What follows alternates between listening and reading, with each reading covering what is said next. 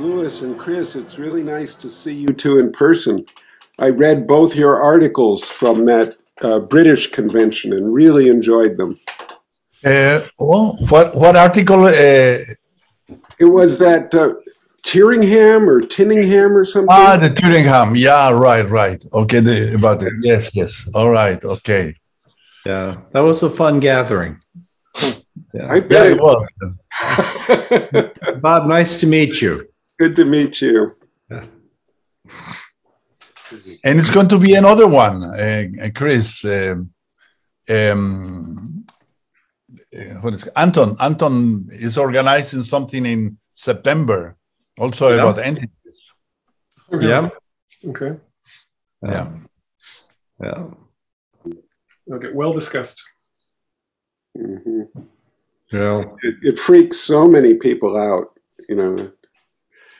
I get in trouble because I, you know, I'm a therapist, and if I talk about it, oh, they, they don't like that.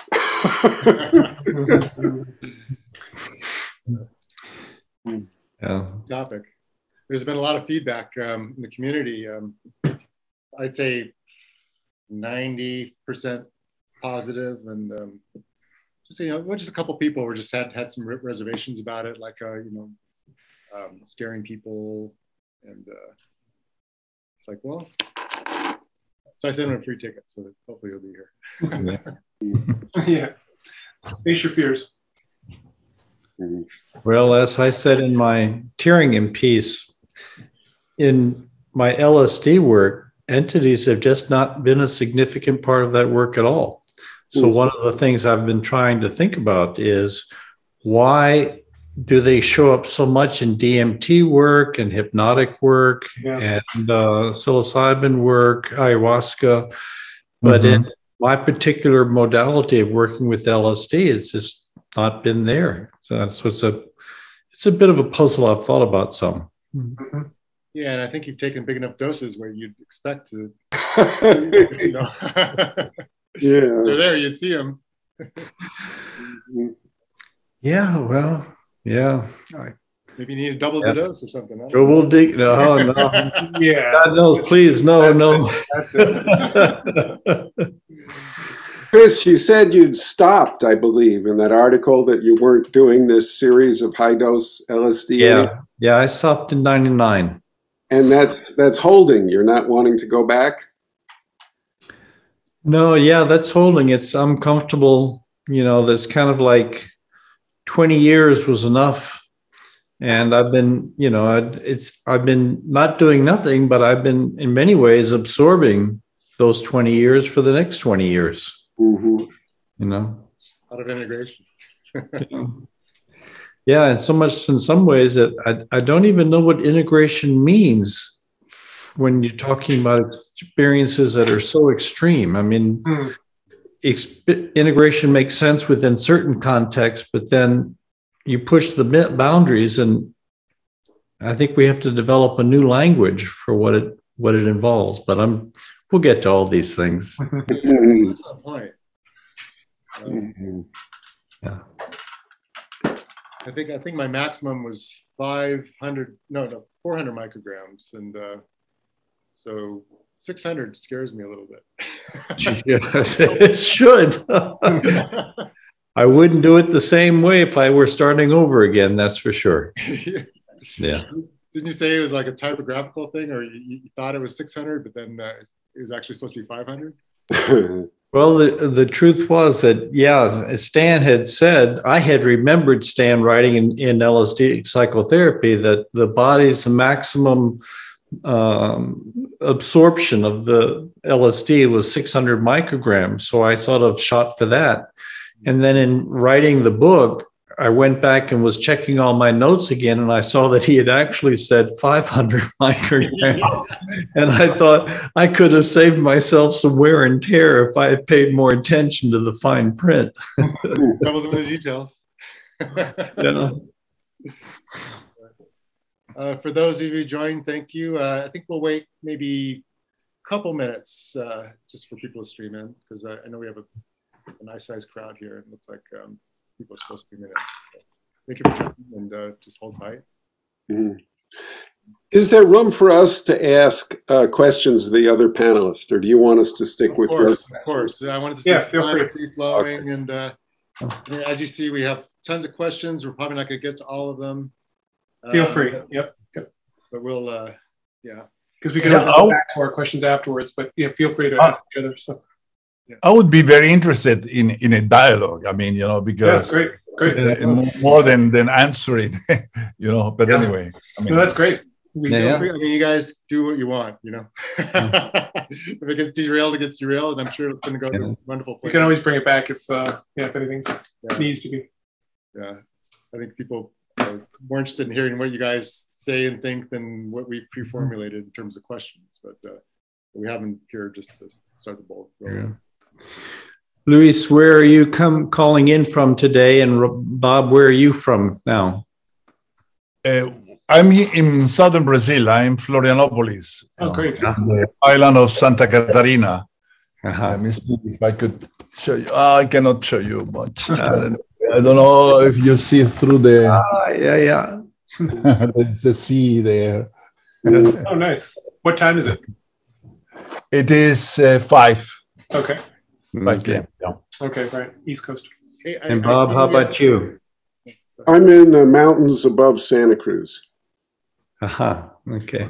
Well, Well, if, if I could show you, you could also see the sea out of my. Yeah. Okay. Hear your books. Yeah. Well, I'm coming to you from Asheville, North Carolina. Great. Okay. Yeah. So you're in the same time zone as Eduardo. Uh, I'm one hour earlier. Oh, I'm okay. Coming up on four o'clock my time. I see. Okay. Oh, Yeah. I see. But He's four hours. Okay. Got it. Got it. Yeah.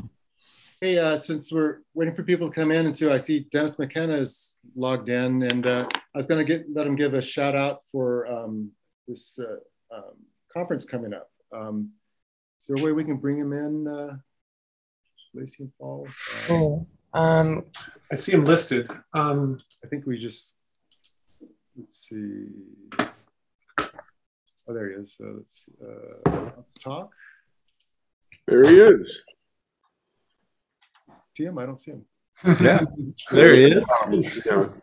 He's Oh, there. everybody else. All right. Hey, Dennis, uh, can you hear us? Hi, can you hear me? I, I don't see any video where I can. We hear you. I- you you hear me, but you can't see me. Is We see a right? picture. We see a picture of you. Yeah. Yeah. Can you turn on Uh, your video? Do you see a video button on the bottom there that you can hit? I don't. I- I Okay. Let's see I if we can. oh, wait a minute. Uh, okay, so join us, panelists. All right. yeah, yeah, join us. Why not? Let's see. Uh, okay, and now I see it. Okay. okay. Oh, there you go. There you are. All right. Dennis. Welcome, All Dennis. right. Welcome. Very good to see you all. Likewise. Yeah, thank you. Thank you for inviting me to plug ESPD 55. Looking forward to the conversation today. So, uh, uh, we're, we're not, the webinar hasn't started, right, Brad? Or, or Uh, is, we're, we're letting people stream in still, so this is a good time actually. okay, okay. So, uh, should I?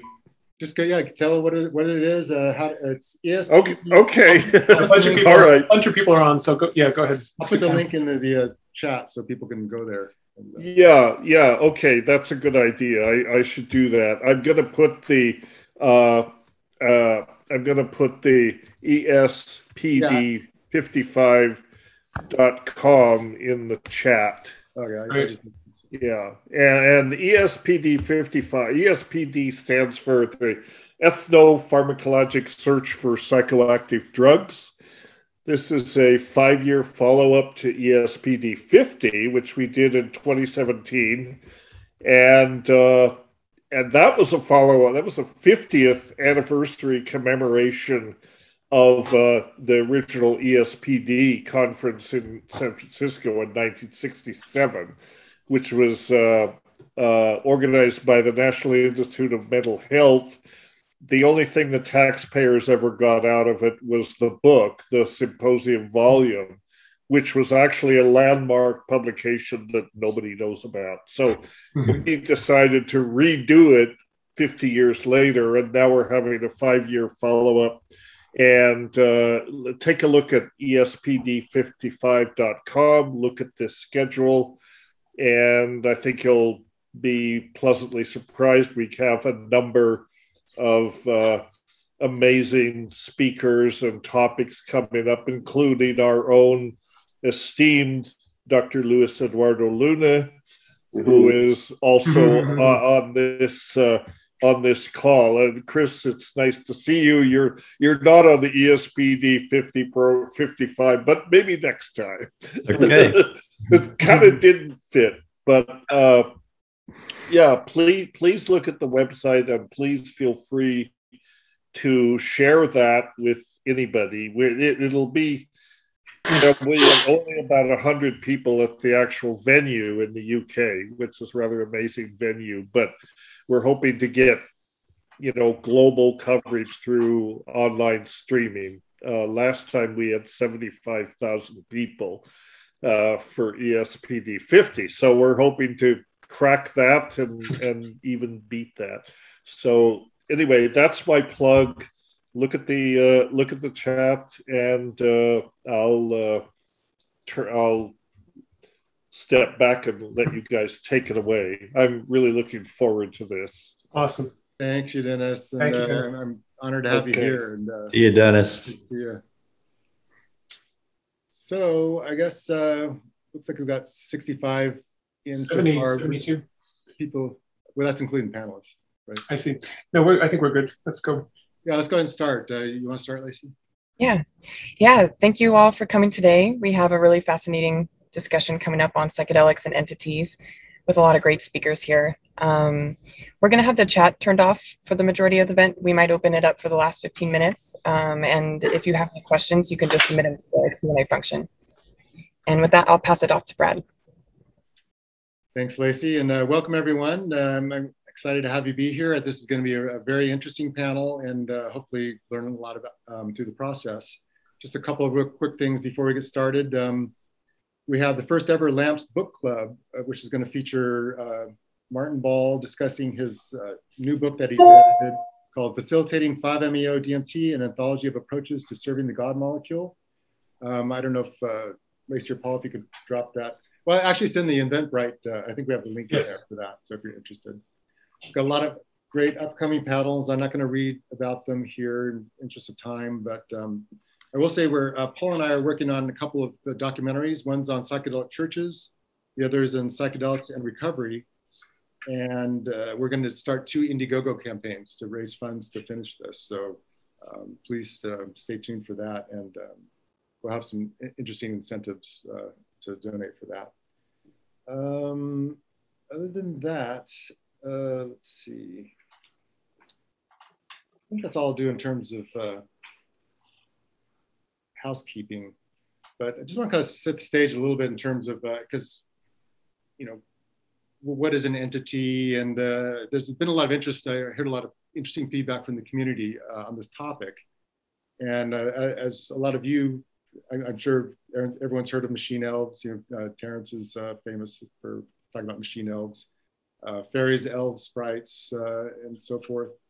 I took an energetics course one time when they were talking about energetic parasites. I guess these uh, things that can latch onto you and suck your energy, I guess. And uh, um, I'm, not, I'm hoping some of our panelists might address that if, that's part of your purview. Um, I'd like to also mention that David uh, Luke, we were trying to get him on the panel as well. He just came, he just wrote a book, which I did have here, but I don't have it anymore. DMT uh, entities. Uh, uh, Paul, do you remember the exact title? Uh, DMT Encounters, I believe. Yeah. And uh, he's been studying this for over 20 years. I remember hearing him on a podcast saying he's been studying this for 20 years, and even he doesn't have, you know, wouldn't say definitively exactly, you know, I mean, he's very cautious about closing his accounts with reality, saying like, you know, he knows exactly everything that's going on. so, uh, so I'd like to suggest we all go into this with an open mind because I know some people I've talked to just come on one side of the camp or another, and so let's try to get get in it with a sense of curiosity and uh, see what evolves from that. Um, let's see. Want to intro the panels, Klaus? Yeah, let me just finish this. For, for oh, sorry. So, and, and, and, other examples are angels, demons, uh, ghosts, um, uh, archetypal things. I remember Ralph Metzner said one time he became Shiva. And uh, so just, um, and interestingly, as we were coming up with this panel, I was looking online and I found this article or this quick, this um, advertisement for request an exorcism today. 100,000 plus people helped. Mm-hmm. And this person does uh, spirit removal at a distance, uh, and kind of like a little spiel for that.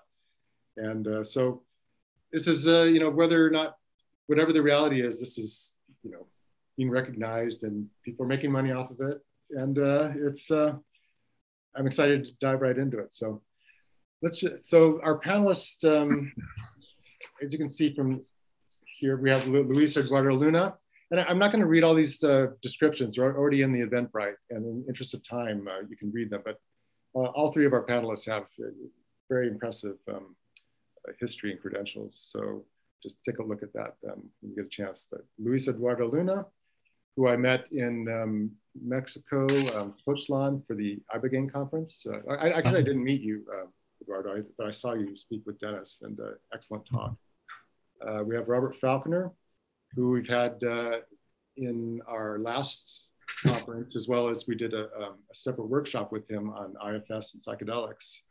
And so he has a very interesting take in terms of how this uh, jives with, uh, with um, internal family systems. And I asked him a question one time during that training how do you know if you're talking to a part or an entity? And his response was very interesting. So I hope you'll be able to go through that again, Robert if people are interested in that.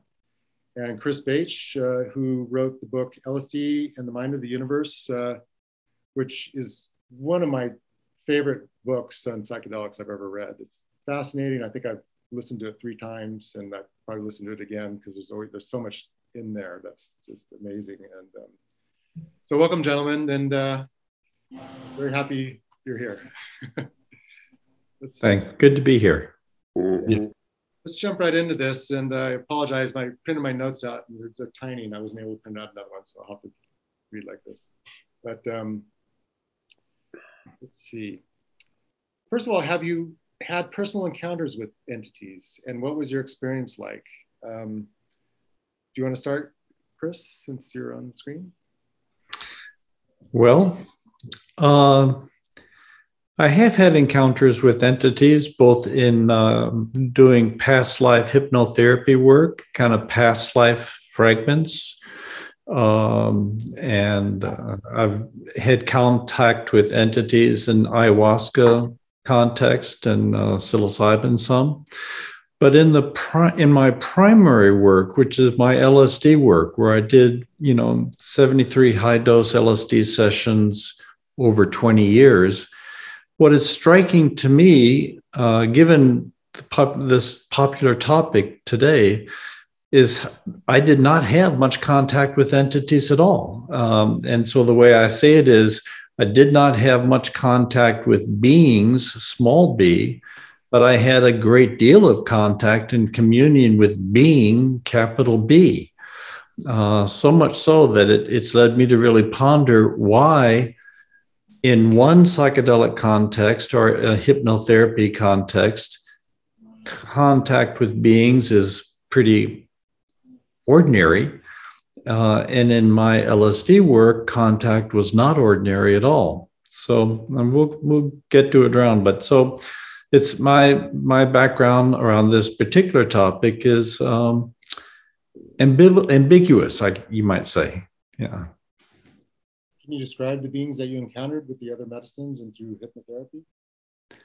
I'm sorry, say again, Brad. I'm sorry, I, I think my microphone's a little uh, be careful. Oh. Can, can, you describe the entities that you encountered with your other medicine work and through the hypnotherapy with uh, um, your reincarnation?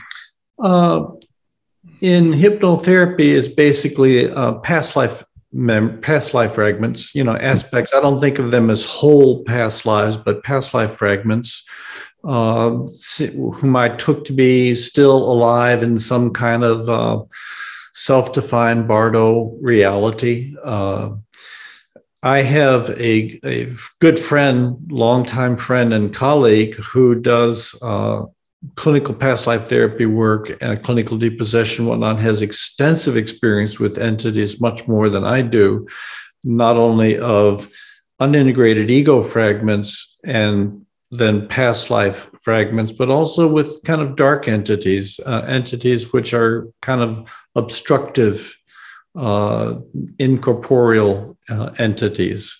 But that's just not been my experience personally. Uh, I've had when you know one of my few opportunities of doing ayahuasca. Uh, I was in Brazil uh, participating in an ITA conference, and uh, we were out in the jungle uh, with the Santo Daime community uh, doing ceremony, uh, and it was having contact with some of the nature spirits uh, in that area. Uh, just lovely, pleasant conversation, pleasant contact. And what was interesting to me is that they said they knew me or could read me, they knew of my work. Uh, and they were happy to have me in their neighborhood. They wanted to show me around. so I said, okay, you know, show, show me around. And they said, well, get out of your body. And I said, I don't get out of my body. It's just not one of the skills I have. And they said, Well, we'll help you. So they were kind of my subjective experience was they were pulling on me and trying to get me out of my body. And they were laughing and laughing. They thought it was so strange that somebody who had as much experience traveling in the cosmos as I've had couldn't do something as simple as getting out of his body. They just laughed and after they they gave up on me eventually and we had a, a, pleasant they took me on some adventures that did not involve an out-of-body condition. That's great. Um, you mentioned this term clinical depossession before we move on do you, do you mind uh, um, saying what that is well, I suspect Robert Bob could give a better description than I can uh, on that. You want to take that, Bob? Let's go to Bob. Sure. Okay. Uh, yeah, that's what I do largely. Um, yeah. Let's see. Brad, you mentioned that some people are making a lot of money off this. A lot of people have ruined their careers by daring to speak about entities and enti entity removal. Dr. Edith Fiore had her license taken away from her because she would she spoke the truth about what she saw and what was going on. And um, I mean, I'm 74 and I don't care anymore. to, you know, to hell with them. But if you're a young therapist, you don't want to touch this stuff. If you have any hope of an academic career, you you don't want to talk about this. You know, it's it's like the third rail of American psychotherapy. And it's real and it's all it's it's actually I believe quite common. The first one I met in my, well, I'd met others, but the first one that was really dramatic is I have a very serious eye disease and was told I was going blind about 10 years ago and that I should, you know, learn how to use a cane and and I was working with someone on this and we saw this entity inside my eye and it was attacking the retina, which is where the problem was and the entity looked like a spider with the stinger of a scorpion. And it was causing these holes in my retina and the symptom, the actual biological symptoms of the disease process were blisters on the, my retina, which would then burst and bleed into the eyeball. Mm. So, and we were able to get that thing out and I can still see well enough to read and to drive way better than the doctors ever thought possible. And I mean, I still have the condition and get it checked. You know, I do all the Western medical stuff, but that was a very dramatic, you know, where it counts. Pay attention, pay attention. And then maybe later I'll tell the story of the first other client I had who had a huge one in her and got it out. And it, I just wasn't going to ignore this anymore. Mm. Wonderful. Thank you for that. Luis, do you want to go next? Um, with have seen entities. yeah, what's what's your experience with them? Uh, the personal encounters. okay, okay. I was thinking about that, and um, okay, I mean, I will I will say um, three situations in which I have seen entities. You know. One is with lucid dreams, you know, somehow, and it was uh, originally due to a plant, uh, which is very common, Brugmansia suaveolens. Uh, it was called Datura arborea. I met in Colombia when I was there at holidays a German guy who told me, you know, take three flowers of this um, this um, plant, put it on your forehead and you in the uh, back of your head. Go to go to your uh, to sleep. Don't move. And when you come back from your dream from uh, from dreaming, don't move and try to remember. Okay, I, I, was with Terence, by, by, the way, with Terence McKenna and his girlfriend at the time. So we did it, and um, and um, I didn't recall anything. Terence or Erica didn't recall anything. Nothing happened. We thought uh, we were in a, in a, country house where the Terence and Erica were in one room, and I was in the next one. It was a wooden house, and there was the kitchen, uh, locked from the outside, and the key was in Erica's with Erica. Anyway, so nothing happened. Uh, Erica went to make coffee, opened the lock, and found on the pan, on the on the on the uh, grease of the, on the pan, on the butter, butter or whatever, you know, just one letter, E, and with a line on the perfect letter, you know, E. So we couldn't make what is this? And uh, well, I thought Erica, and I'm Eduardo, Luis Eduardo. So perhaps you know, uh, we met later the the German guy, and he said, "Oh, very easily. I mean, one of you went into the kitchen and wrote the E, you know, just to remember, but now you moved, you didn't remember. Okay, anyway, so I didn't pay much attention. I repeated the experiment again a few times, nothing happened. Then I went to Norway. I was then living in Norway, and I started to have lucid dreams again and again but i didn't know anybody who had told me what is lucid dreams you know?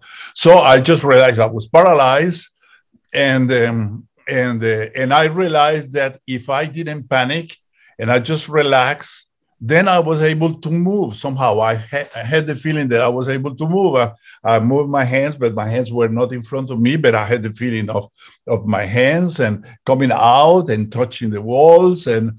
So I started to make experiments on myself. In the beginning, I was very frightened. In fact, I went to the doctor. He said, oh, "You are just dreaming, nothing," you know and then I started to see people and uh, you know and and so on. And so I had this whole set of experiences with lucid dreams many years through many years.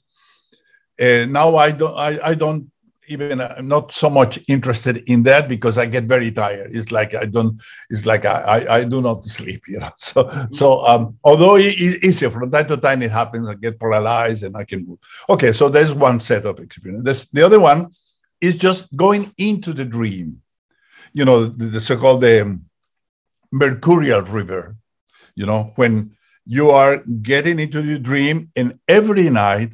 Now I don't recall whether this happened um, at some point. It began to happen. Perhaps I just paid attention to that. But every night, for me, entities are just like every every every night before I go to bed, I see them dancing, coming close to me, changing, changing, you know, transforming this and that. But I, I mean, I I just look at them and and that's it. I mean, it's just like okay, welcome to the dream world and and I go into that, you know. so so there is like everyday experience, nothing the third one, of course, is ayahuasca. And I have been taking ayahuasca now for 50 years. I mean, I, my first yahe experience was in 1971 with Terence. And so uh, I was almost 25, I'm almost 75. So it's 50 years of experiences with ayahuasca, all sort of experiences. Also with other with other substances, mushrooms, uh, uh, LSD, but I, I never you know, never 200 micrograms was my my top experience. It, it was enough. I mean, so and uh, so and and and with ayahuasca, many kinds of experiences. You know. So now, what do I think about it now? Uh, I, you know, through all these years, what I have come to the conclusion more is that. Um, we live in uh, in animistic world. I mean, I'm going back into part of my roots. I'm partly I was born in the Amazon. My father's side is uh, partly Indian, uh, but I was educated European. I mean, in Colombia first, and then in Spain, Norway, uh, Sweden, so on. So, but I realized that after all these years, when I'm going back, is to animism, and so that means that we are surrounded by entities. I mean, simply every animal, every uh, plant that is around us has a spirit somehow. And so the, the question is how to get the sensibility to get in touch with that. You know, most of the time, of course, we don't because uh, somehow, in order to approach these entities, you have to get uh, switch off the logos you know the rationality the radio here because i live in brazil and you know brazil and argentina they are always especially football you know. So the definition for the brazilian definition of ego is to shut up the, the little argentinian that we all have inside us you know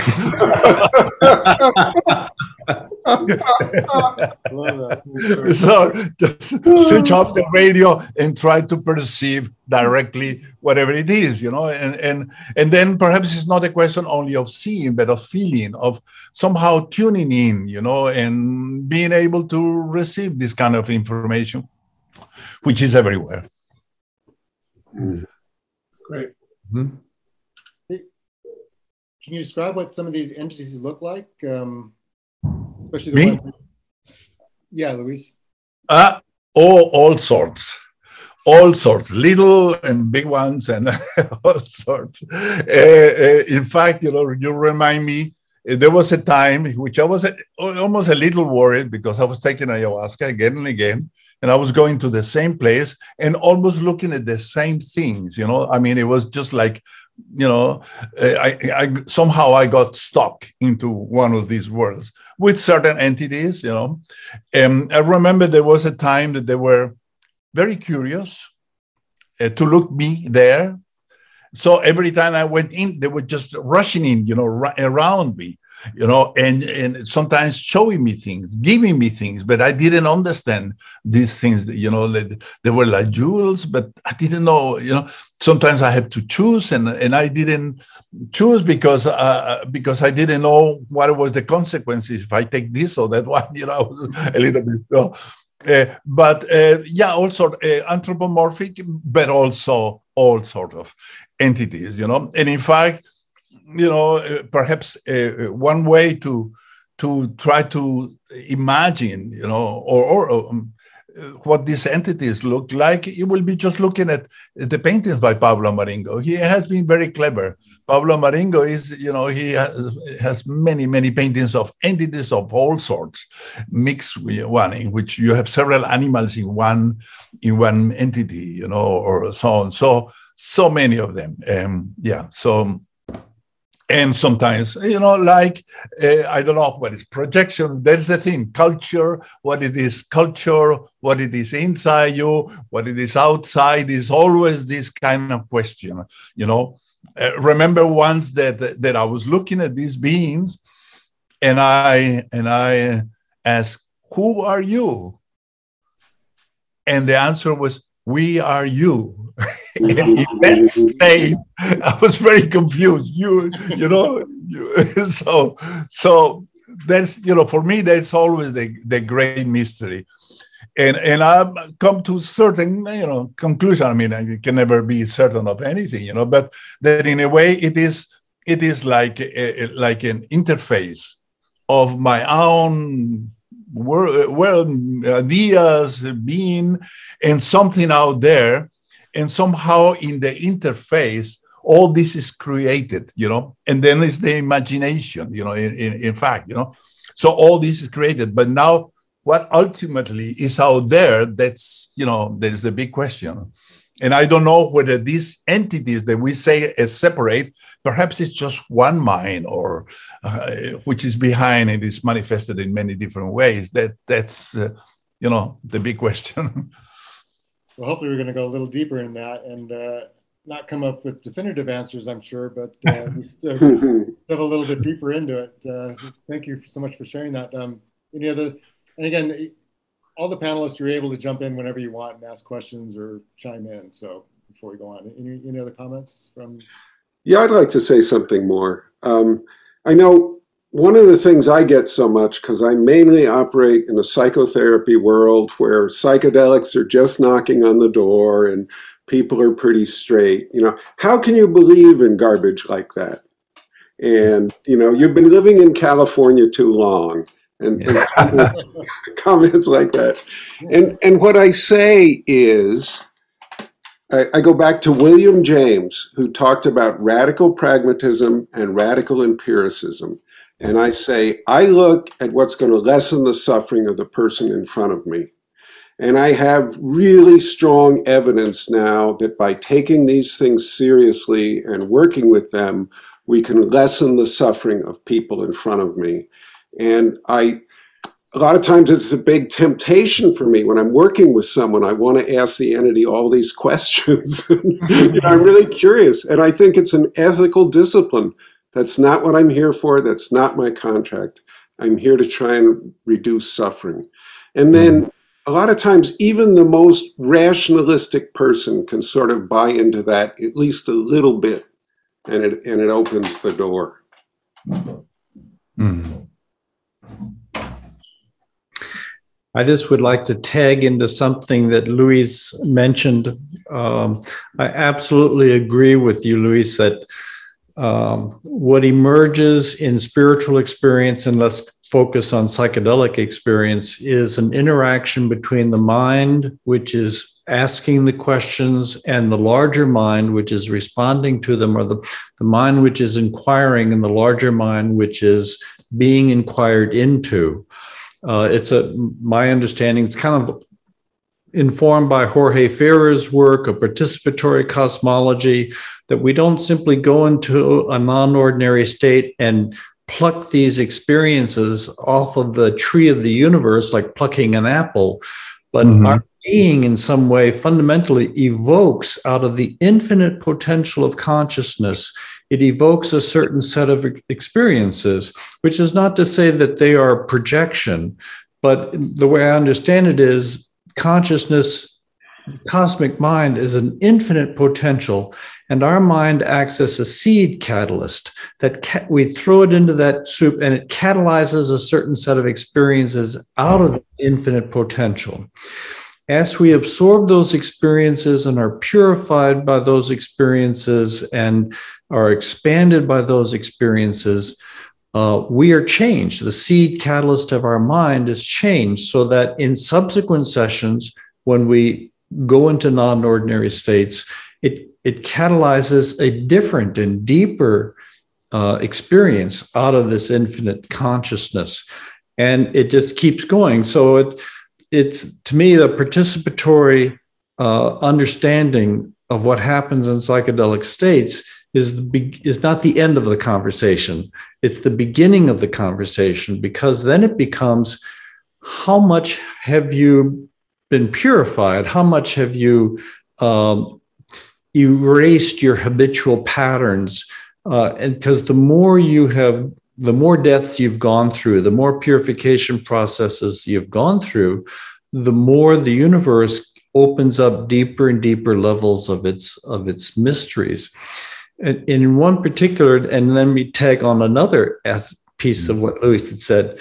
In one particular session, I remember I was in dialogue with I always have a felt sense of being in dialogue or guided by my sessions or orchestrated by a consciousness. that never takes a particular form, never takes a shape or form, but there is an acute sense of, of presence, which I'm engaging.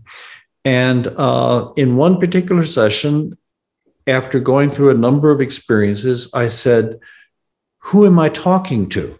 Who are you? And in that process, I went through a death re- a death experience. I kind of collapsed into a deeper level of reality where I discovered that I was in fact in dialogue this other was myself. And then again uh, the the process repeated itself. Who are you? And in this session I went through hours of going through death after death after death when I would ask the question. And I found that all otherness in my session was at a deeper level emerging out of a coherent oneness. Now, that doesn't mean that my ego or personal unconscious was generating my my experience it wasn't like a confrontation with my personal psyche but that the uh, the oneness that I died into was really coming out of a deep, deep level of cosmic being. It was that kind of oneness, mm-hmm. uh, and so this this fluidity between self other at one level and the dissolving of self other at another level is a, is not simply um, it's not resolved at one time at one level, but it, it goes through level after level after level, deeper and deeper levels of communion, and then absorption, and then initiation into these the deep strata uh, of the cosmic mind. Mm-hmm. Right, we can't hear you. Thank you so much for that, Chris. That was fascinating. And uh, again, everyone should get the book, um, LSD and the Mind of the Universe. Uh, dives hmm. deep, real deeply into these things, and it's uh, you won't regret getting the book.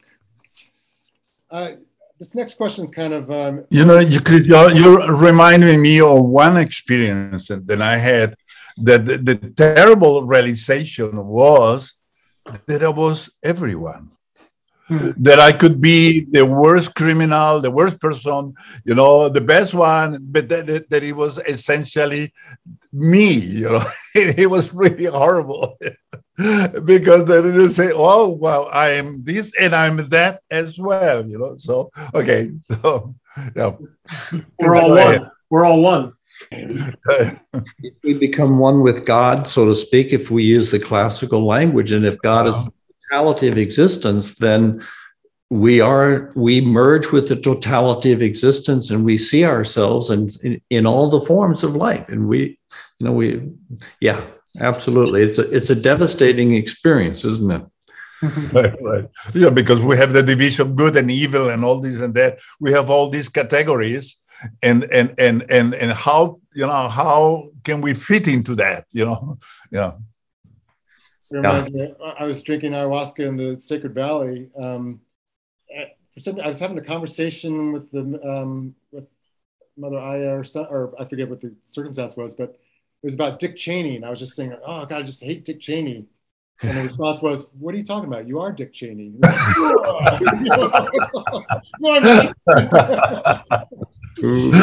it was, uh, it was, it was yeah. kind of humbling. So, so the next question has kind of been already, I mean, I think we already know the answer to a certain extent, but it's um, is talking about entities more helpful or harmful? And they, uh, just behind this is uh, someone brought up the thing where, you know, if someone's going to go in say and to drink ayahuasca, do you really want them to feel feel them with a fear of like entities, like oh my god, know, like could I get possessed by an entity, or do I need to protect myself, or what can I do? Um, so, Luis, you want to start with that one since? Uh, well, um, uh, I think that I think that uh, it, I think it's only Western. You know, I, I, I mean, it's difficult to say. You know, in general terms. You know, but with this, uh, we have deprived the world we have disenchanted the world of entities you know? And so and so this idea that oh you may see entities you know therefore you have to be afraid. Um, i think that simply we, we have to re- recognize that this is part of what it is you know the, the entities are everywhere. The interpretation, which are whether they're good or bad, it all depends on you know many of many things, including our own situation at that very moment, and so on. So so. Um, my my my take into this when when people ask me what happens if I see a terrible entity here, monster coming to me, is uh, um, uh, I used to tell them, okay, if you see a great serpent, serpent coming to eat you, just go in, go inside, let to be eaten, let to be destroyed. It's the game. Okay, just take me. You know, do whatever. You know, mm-hmm. uh, because by accepting this, then suddenly you realize, you know, that there is no no danger really. You know, and then uh, you learn something you know so so i, I was reading I, there is a book that i'm really recommending every every time i give a talk is david kopenawa's book um, um, the falling sky it's a book uh, uh written by uh, Bruce Albert and David Kopenawa, but David Kopenawa is a, a, um, um, Yanomami shaman and Bruce, this is the result of something like 20 years of collaboration. So in the book is really David Kopenawa who is talking. You know, they are his words. You know, mm-hmm. And and it is a, a extraordinary. You know, because because then you see how. Uh, in order to be in, in this society, in order to be able to understand the world, you have to really have to die. I mean, but they say it is, you know, that is that is the whole experience. Is dying eh, when they take they take yakoana, which is a, a snuff made from virola uh, plant and it contains 5-methoxy DMT. I mean, and and that's serious. I don't know if you any of you have experience with 5-methoxy DMT is beyond DMT. I mean, this is really serious stuff, you know. Yeah. And they are able to die, you know, and and only by dying then you are able to understand you know what is uh, what is happening you know and then you get in touch with all these um, fantastic entities and all uh, and all that so so well i think that that's the process it, yeah, the process that we need to go through somehow is just to die. And interesting that uh, David Kopenawa said that in dreams, the same thing, you know, we have to learn how to dream he said that we Westerners we dream they are we are just like axes or you know pieces of uh, stones on on on the Molokai, and we don't do anything with our dreams. Mm-hmm. And that made me think that you know we have how in the Western world we have neglected uh, the dreams. I mean, in in in the Western world, I mean, we put an alarm clock, we take a coffee, and there's no chance that we are going to remember anything, you know, because we simply destroy. But in all, so many societies, including the Western uh, Amazonian society, the dream world is another state of consciousness in which they are dealing with they are meeting people meeting entities meeting you know meeting imagination in you know. So so it's a completely different thing you know so okay yeah thank you so much for that and I, am realizing I, we should have made this a five hour long session instead of two uh, Robert, do you want to um, talk about this? Um, sure. Um, a lot of the work I do is preparation sessions and integration sessions before and after. And I, you know, I, I come from a parts model of the mind where our mind is not one unified thing as we walk around the world. There's little kids in us and rebellious teenagers and cranky old people and all that. And I believe this is actually healthy and good but so what I do is I ask someone, find any parts of you who are scared of meeting entities. Ah. And then I have them develop a relationship with this part. How do you feel towards the part? Can the part feel you there with it? Until that part feels so secure in the relationship with the real self or the central self that it's no longer afraid of the entities. And I really work, I, it's, I think it is so great that we're talking about this because it, it gives you the opportunity to work with people before their medicine session, you know, and meet all the parts of them who are scared by this and make that all. And if, if you can't get that really good self part relationship, you can negotiate with that part to go to some safe, contained space. You know, uh, but I yeah, it's I think it's super important we talk about this and wonderful, and we should do more of it. I agree. And uh, if I, could, if I could tag into both what Luis and, and Bob are saying, that um, entity the universe is just abounds with life with living beings. And in the physical i mean it was robert monroe i think the you know uh, the out of body guy wrote several books in the monroe institute of applied science. He said there are as many levels of beings as many beings in the spiritual world as there are beings in the physical world. So there's uh-huh. just billions and billions of beings.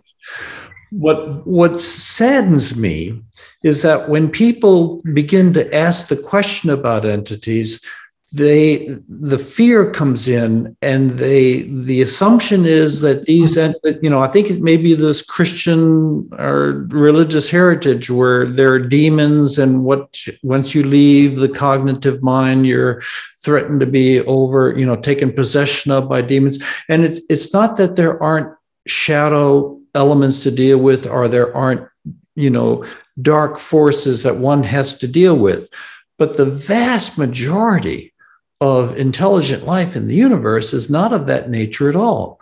And the deeper you go into the universe, the deeper you're dealing with luminous, luminous, luminous beings that, that we are like, we're like children to them. I mean, they're just extraordinary beings of, of great genius and, and great compassion and great love and it's like you know hollywood has has distorted our under our image of what the spiritual world is like so that it's filled us with images of ghosts and uh, you know all sorts of, of, fearsome beings or demonic and possession beings when really uh, the the reality is quite different from that.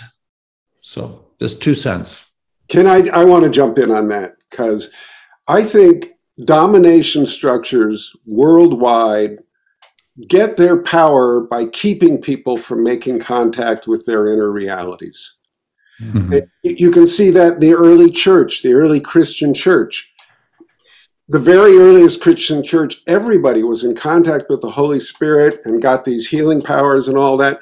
And then once there was an organized center, they said, no, no, no, no, no, you guys can't do it, only us priests. Mm-hmm. And it, it happens it happens in tribes. It happened in India. There's a, a, long history of possession stuff in India. So I think domination structures are very interested in keeping us scared of that inner world. And I think that's one of the reasons why it's so important to talk about this, so to counter that propaganda that's out there. Mm-hmm. Yeah. The movie The Exorcist, is there um, well, just just quick thoughts about The Exorcist. I'm sure you've all seen the movie, right? Um, and that scared a lot of people for demonic possession and, uh, and thinking, "Oh my God, am I possessed?" Uh, anyone want to talk about that? Um, your, your experience and thoughts about that movie? Not really. It's not worth talking about on the large landscape. It's not really. It's not that there aren't dark forces that one must contend with, but I, the vast majority of, spiritual forces, I think, are much are benign and and uh, compassionate and helpful and constructive. It's just that we we get fixated on these scary things that just kind of lock us up, and uh, it's like you know we are we are chorus we're like like bob says we're not it's a, we are many parts and we want those parts to be singing together in a chorus. Most of our parts sing pretty well together you know, maybe we got a couple of hand holdouts, maybe we got to work with, and some scared parts or some angry parts or whatnot. But most of them are, are really work well together. You know, uh, Chris, you made me uh, think of something that um, Jordi Riba, you know, the great uh, Spanish who worked for many years uh, on ayahuasca. Um, um, I, once I, I, met Jordi in Barcelona and asked him, okay, you have been working for so many years as a scientist with ayahuasca. How can you, how you can, please make me a, a resume, you know, if, in a few sentences. What is ayahuasca for you? Yeah. And then he said something like, like it, it is like, um, um, um, with ayahuasca, the main conductor of the psyche. Just calms down and let allow all these other voices which are there come to the front mm-hmm. and, and and speak and I talk. And that's you know in a way what you say you know I mean the, that is this big conductor conductor that we think it is me you know and in fact it's made of many different others and perhaps this is what we have to learn how to, you know, gradually shut the Argentinian in a way going to this so that the others so that the others can come up. yeah. I want yeah. to add one more thing to that. I really appreciate you, both of your comments. I think even the ones that come out like these horrible, horrible, nastiest dark force, ah, you could imagine yeah. Almost all of them are really just lost, frightened souls who yeah. are desperate and terrified on their own and yeah. just need a little help to turn and and go away from that and they can they can transform quite quickly if, if they're met with compassion and if you meet them like the exorcist did that kind of stuff is so so stupid. I'll just go ahead and be judgmental. You meet them with that nasty energy, they're gonna they're gonna escalate. And it, it, you know, you got this big dramatic thing, and the exorcist gets to think of themselves as this heroic, you know, conquering hero. I think that's all wrong, unnecessary. Befriend them. They're lost. They're suffering intensely. They need some help. Yeah. And when they're shown the light, they go to the light because their nature is of the divine. I mean, this it's all of the divine. There is no being in existence that is not of the divine nature. And so they get caught off in shadow material and alienated and angry and frightening and you know, but when they are reintroduced to the light, as I'm sure you do all the time, Bob, when they see the light, they spontaneously want to return to the light they when they feel the love and compassion that's available to them mm-hmm. yeah. you know I, I was working in uh, um, uh, with the barquinha i don't know if you have heard uh, all of you have heard santo daime and yeah. some of you udv you know there are these two big organizations that take ayahuasca as, as a sacrament. But there is another one, which was, uh, at least in the 90s, was not yet studied. And, and, I, I was lucky to, they let me in and, and spend a long time with them. It's called the Barquinha, the little boat, you know, and um, also founded by somebody from the from the um, um, Brazilian uh, Northeast, which is very Afro, so mixed with Afro Brazilian elements and so on, possession and so on. Uh, yeah, and um, but the main work of the Barquinha is not the human beings. They have Wednesdays, I think uh, they have like open for for people to come to uh, get advice from the, the spirit of the pretos velhos, the old slaves and so on. But the main task of the church is to lead those spirits which are suffering yes. into the light that is the main thing. You know, I was I was amazed. yeah. Yeah. Yeah. Wow. Well, we've gone through two out of the 23 questions we have.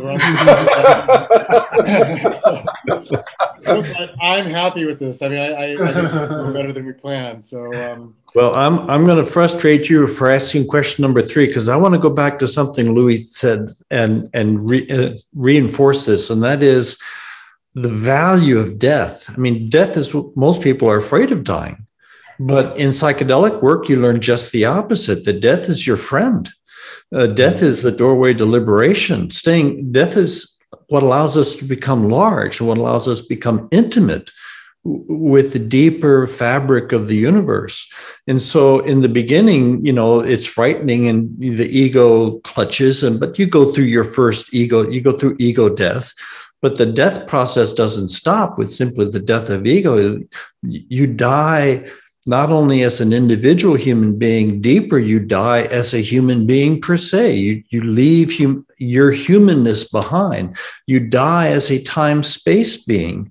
Eventually, death becomes uh, something one seeks after because one's learned that whatever you're dealing with, whatever is confronting you, whatever is scaring you, uh, if you surrender to it, like Luis says, let the snake eat you and give yourself over to it, then you go through some type of dying, surrender, absolute destruction, and you are carried into something new. You, you literally become a new kind of being, experiencing a new dimension of reality. Once you go through this process multiple times at multiple levels, you realize that you can't really die. You die, but you always come through. So you can't die.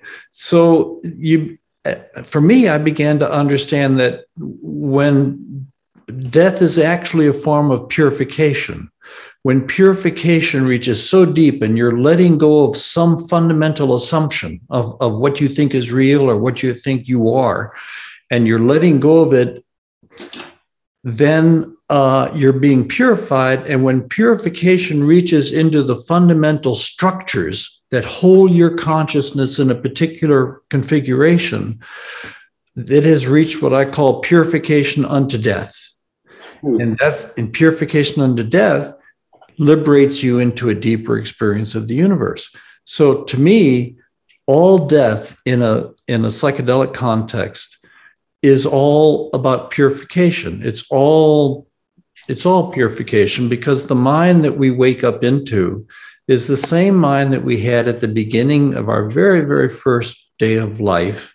It's just that in our first day of life, it's often encumbered or qualified or, or, or, or kind of just encumbered in some way. But when we lose those encumbrances, the mind that we wake up into, the radiant splendor of the divine mind, is, is our essential nature, is the nature that's always been there you know? So death is simply just waking up into deeper and deeper levels of our own being. Two cents. Beautiful, beautiful. I don't know if you guys uh, see the movie Jacob's Ladder. Um, mm. It's a beautiful quote, uh, quoting Meister Eckhart, saying, "You know, you're frightened of dying, you know, and you might imagine demons ripping you apart, but if you surrender and you're you made peace then uh, you actually see their angels uh, helping you yeah. break free. And I, I yeah, probably butchered the quote, but yeah. Uh, so Paul, um, Paul, I see. so, go ahead, take the next question. Uh, uh, absolutely. I was going to ask something that in, in order, but um, this discussion of what you guys have just mentioned um, lead me to ask uh, one more point on on what we're talking about as far as is it is it uh, healthy to be discussing demons and is it is it uh, beneficial? Um, I had a I had a, um, a, a meeting with some very deeply religious friends uh, last week, and they were they were horrified to hear about my psychedelic use and their main concern was that this is uh, a possible by doing psychedelics it was a possible entry point uh, to a demonic demonic realms demonic possession. Now these are people that are not likely in the near term to be using psychedelics but would each of you um, suggest a response to such a person a deeply religious person? I mean robert you mentioned that you know it's it's the um, religious hierarchy kind of con- con- controlling the dialogue, controlling how this gets talked about, and, and laying on fears as so as if they're the ones that should be defining all this. So I'm not gonna, I'm not likely to turn around and attack the religion, but would you res- would you suggest a response that would be helpful to them as far as you know what's going on here and how it would be benef- why it's beneficial to be to be engaging in psychedelics and not worry so much about you know um, demonic possession and things of that nature you want to you want to take Chris? You're on screen as far as in front of me, so you want to take that first, as far as what you would say to a deeply religious person about this type of thing. Well, I'd first want, if it were a one on one conversation, I'd want to know more about their particular religious orientation. We'll start there. Okay. Basically, I would remind them that as a, as a family of substances, psychedelics are simply amplifiers of consciousness. They simply amplify and augment consciousness.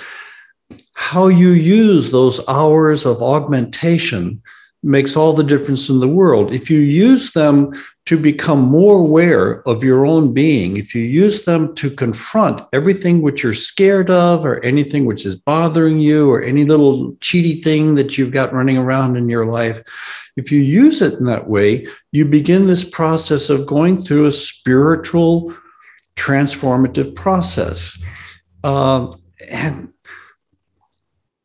it's you know, my understanding is what happens in an LSD or any psychedelic session is the same thing that's happening in life, except faster.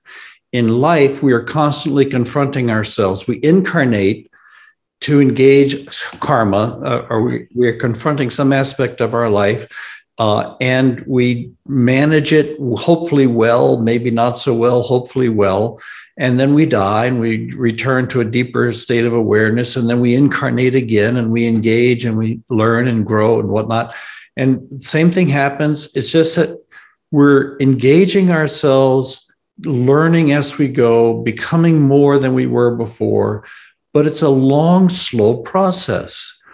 When you meditate when you concentrate your mind and you really focus your mind toward the center of your being.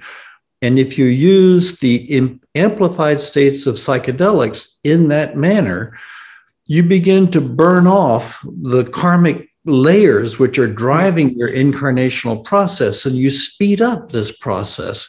So in a way you confront your it's your demons. You're confronting your demons but not really demons that are terrifying the universe outside. You're really starting with your own shadow and as your shadow is cleared, your your mind becomes clear, your heart becomes clear, you become more compassionate, more understanding, more sympathetic. Uh, and uh, that's a good thing, isn't it? Isn't that what the religion would affirm? So it's really, I think it's a misunderstanding of one, what psychedelics are, what they do to us. And secondly, uh, it's a it's a a too small cosmology. It's it's a small cosmology of what the spiritual world is actually like. Mm, okay. Okay. You guys want to speak up, Robert? You want to comment? Okay. Oh yeah, I have a lot to say. yeah. What you mind? Because I get a lot of people who've had some kind of psychedelic session and are destroyed. You know, parents calling, ah, our daughter did that and she's in the mental institution, and what what do we do? You know, I get a lot of that. And um, the first first thing I'd say is that as difficult as these transitions are, when when a when a negative entity gets into us, it actually is doing us a favor unintentionally. It's like the ants in your kitchen. They're not trying to help you out, right? Obviously but they will show you precisely where you spilled the food. Hmm. They'll show you exactly what you need to clean up. Hmm. Mm-hmm. So, so these negative energies are exactly like that for us. The problem is not the negative energies, the problem is our fear and terror of them. Mm-hmm. So I, I, go back to that find the parts who are terrified of this, work with the terror, and when working with very religious people like mm. that who are saying you're going to open yourself up and you're going to get demons in, I work with, I would want to ask them about their fear of demons. And you know, if if they're Christian, well, aren't you saved? Isn't Jesus much more powerful than the demons? Why are you scared of these guys? Yeah. And I know among Orthodox Jews, there's very extensive psychedelic use now in a very religious framework. So hmm. some of the most intensely religious people, you know, who whose whole lives are organized around their their religious disciplines, are becoming very, very interested in psychedelics. Mm-hmm. Interesting. Luis, want to comment? Um, no, um, I just had a memory of um, a sentence you know, we're talking about death and confronting your, your demons and so on. Yes. And in Mount, Mount, Mount Athos in Greece, mm-hmm. there is this monastery. In the door of the monastery, there is a sentence If you die before you die, you don't lie when you die. and, I think that the, the whole thing is a fear, fear you know so so my my my advice to these people is just don't don't be afraid you know don't be afraid you know confront it you know. It is those demons perhaps they're not coming from the outside they're coming from within you and you have to better you know gotcha. get, get, get to know what you got inside. Yeah. Okay great. All right i've got a um uh, two different two different approaches to entities. Uh, some say that entities uh, tend more uh, tend to be encountered by people that are highly suggestible, right? Open as hypnosis. Whereas another definition of entities are that it's a protective, it's almost a, a, genetic protective ability, such that like in, in the jungle, the people that could sense seeing the, the feel the tiger behind the bushes or sense another person that might bring them harm. For the three of you, what's what's your take on what's going on with entities? Are, are is it more likely that people are open to suggestion and, and so they're going to see these things or feel they they feel that the things are there, or is it more like they're they're more more acute, but they can sense the people that are seeing entities are more can more sense such a such presence. Do you have an opinion about about these takes, or is it a third definition as to why people uh, see entities? Um, Chris. no. Thanks a lot, Paul. yeah, exactly right. Go take away. you know, uh, the the problem I have is that we have the category entities, yeah, and okay. it's as if we're talking about one thing or yeah. two, when really we're talking about there's so many many different forms of entities and so many layers of entities and, and so many uh, categories that it's okay. I can't I can't think of uh, if you answer the question the way I think it's being framed. Uh, you end up en- addressing just the lowest level of entities, just the near the nearby entities, mm-hmm. which which are real. They're they're there, but they're in some ways the least significant ones. You know, because if you if you deal with that fear and you work through those, then you meet much more interesting beings okay. and you much more interesting layers of beings. So it's a hard question to answer on its own, on those terms for me. Fair enough. Fair enough. Uh, Luis, do you have any thoughts on that? Hmm. Well, I mean, we we talk about people who are more sensitive, more uh, uh, with almost in negative uh, terms, you know, yes. our people, yeah. you know, you know, and and it is like we are we are uh, uh, damning imagination, yes. you know, and, and, and, that is a terrible thing to do, you know, because we are reducing ourselves to, you know, our logos, our rational mind, and all the other things are just imagination. So, so, so, so we need to be you know if you are open in that way then then you you know you see or you connect with or you know you see these multiple entities and in a way that's what happens uh, you know now uh, with the animistic societies you know they are open to all these and, and and therefore they are able to sense also the the the more closest entities here like the jaguar which is behind you know mm-hmm. okay you mm-hmm. feel that you know you feel all that but also that jaguar you know so that you know so in a way these are people who are much more and and not only see that is the thing you know we are a very very visual um, uh, very visual uh, culture you know but it's just like perceive on multiple levels you know. I mean eh, we don't think much about the smell of the forest you know. I mean that is one of the things that they said that you learn when you're learning uh, with ayahuasca and other plants is just to open to yourself to the multiple levels you know of smell of of feeling on, on many different dimensions. So it's a completely different thing. And of course, then you, of course, you you you you see that the, the, the world is populated by multiple entities of all sorts. You know, so yeah. So that is my take. sure, sure. Robert, got something to say? Yeah, this is a fascinating question I've thought about a great deal. There's, uh, I think, in my mind, the foremost anthropologist living today is Tanya Luhrmann. And she wrote one of her many books is How God Becomes Real. And she studies the things in all sorts of different cultures all over the world as to what people do that makes God and these experiences of entities and spirits real to them. Mm-hmm. And it's it's learnable. She's come to the co- conclusion you can learn how to do this. And she doesn't talk about demons or angels, entities, or anything. She talks about spiritual presence experiences.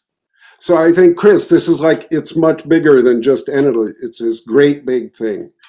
And there are many academic scales that measure our openness to this stuff. Tanya prefers the absorption scale, the Tellegen absorption scale. There's also one, I like the name, the sensory delight scale. it's how much pleasure you can t- that predicts how much of this you'll know. There's also stanford hypnotizability and there's there's a lot of ways to measure that on the clinical end there's what they call schizotypy and psychoticism measures. And on all of these even the ones that are supposed to be measuring mental illness the higher up you get, the more creative people are. I see. I see. I mean, you don't get one without the other. Yeah. And there's one that's very interesting. They can, using computers, they can predict if, if you're given a certain word, there's a certain percent, uh, probability that other words will occur around it.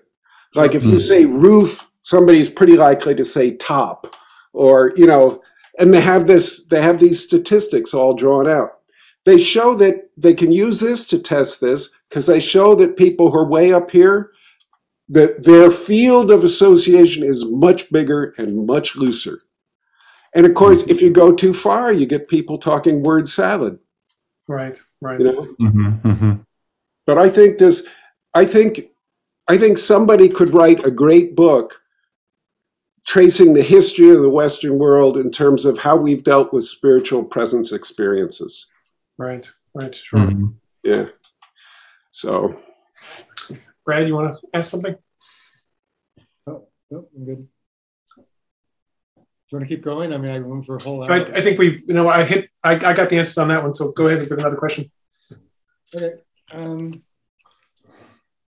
so can you discuss how different medicines elicit different entity experiences, such as a DMT, Iboga, LSD, mushrooms, ketamine, um, any other medicines or drugs? In your experience, how do the entities um, uh, encountered using ayahuasca compared to the those encountered in the uh, changa or DMT space? So essentially, just um, and and uh, Chris, you already alluded to this in terms of LSD, not, encountering entities uh, per se in, in as much, maybe. But um, can you can you talk about the other medicines like such as iboga, ketamine, so forth?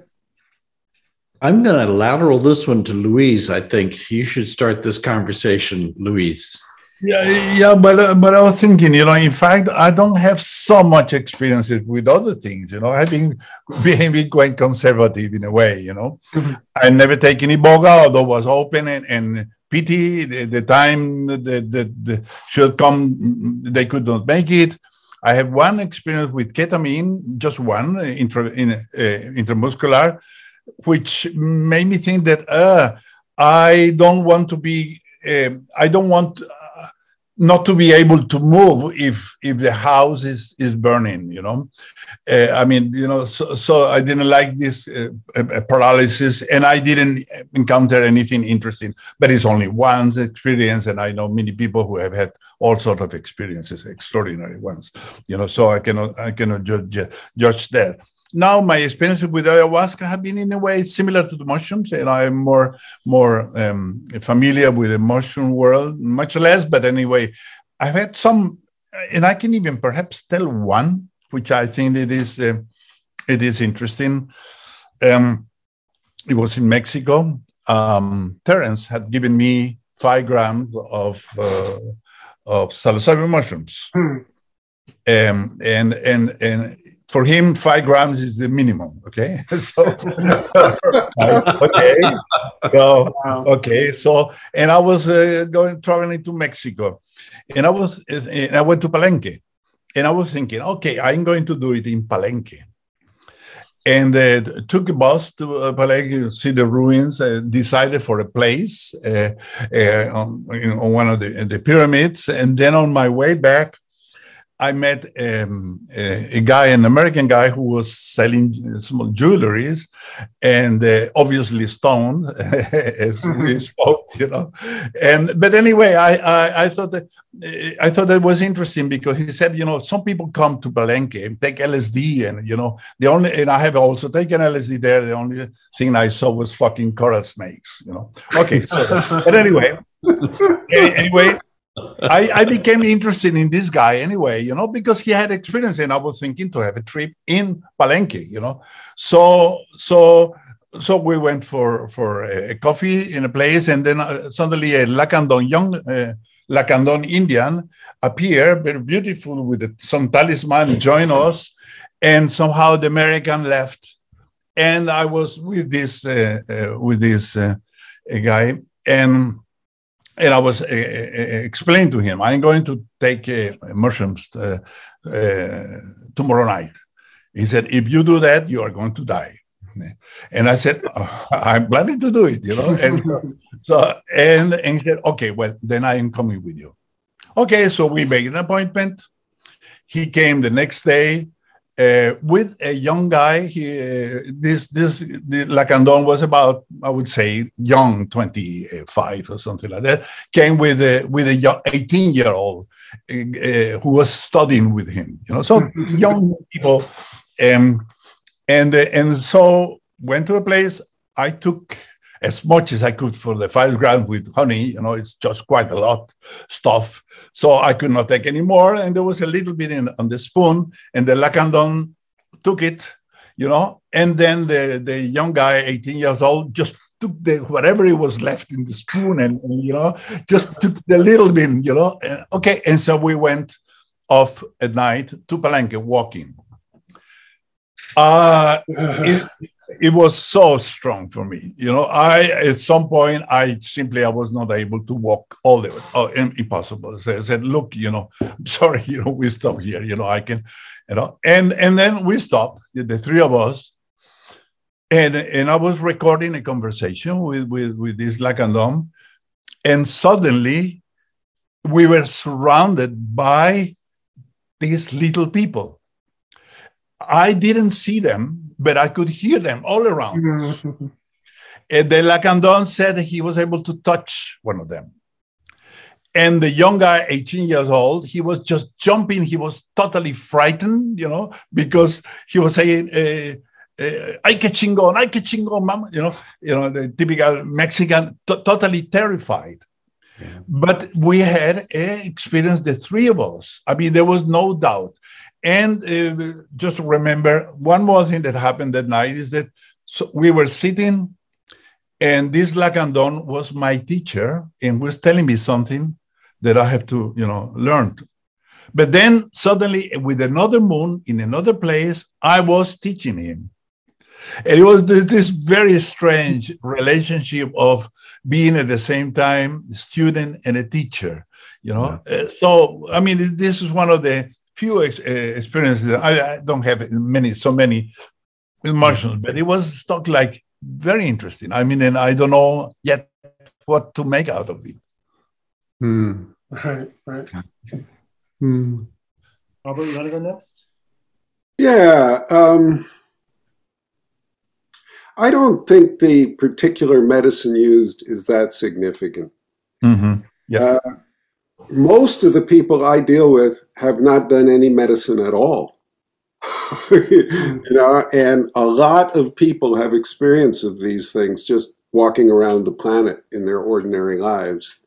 And our society is so unsupportive of people with psychic abilities that they don't dare talk about it because they're they're afraid they'll be locked up Yeah. or ridiculed or you know? So then they end up completely isolated with these experiences with no one to talk to and it becomes very very very difficult. Whereas most of the time these experiences could be a wonderful blessing if it was held differently. And i think as as i study the, this more cross culturally i think the cultural container these kind of experiences come into is so important. In one cultural container, you'll get locked up and given horrible psychoactive drugs and put in restraints.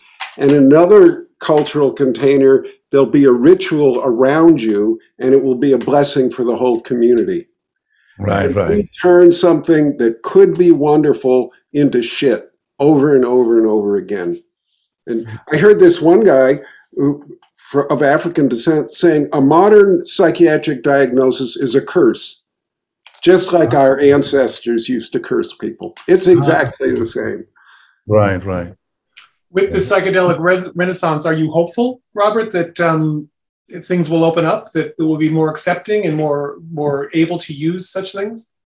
Very much so. Yeah. Very, very much so. And I think an, another another good point, another good point is the mental health health system is failing, or has failed.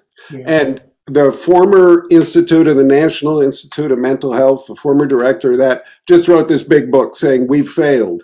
So even the people at the top are opening up a little bit. We have to do something different. We we just absolutely have to do something different.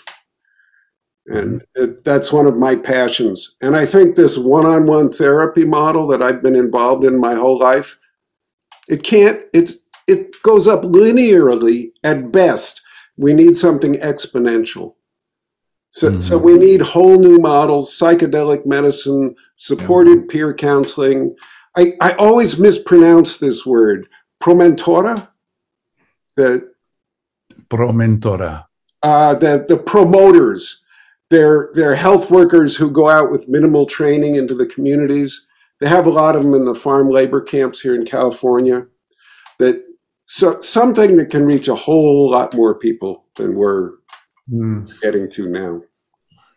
Yeah, we need facilitators of some sort. They need they don't need to have degrees in psychology or, or this or that, you know, but people who have uh, experience and who are able to to teach other people, you know. Mhm. Uh, let me th- throw out an idea that bears on this question of um, which psychoactive drugs might trigger entity experiences or non entity experiences. Um, a suggestion. I'd be interested in, in what you guys think of this. Uh, my proposal would be that the experience we have on a psychoactive substance is not simply a biochemical uh, reaction of this substance in our in our body in our brain, but that uh, around every so psychoactive substance is a kind of more what Rupert Sheldrake would call a morphogenetic field. That Mhm. all the people who have ever taken this substance, their experience with this substance forms kind of a field around this substance.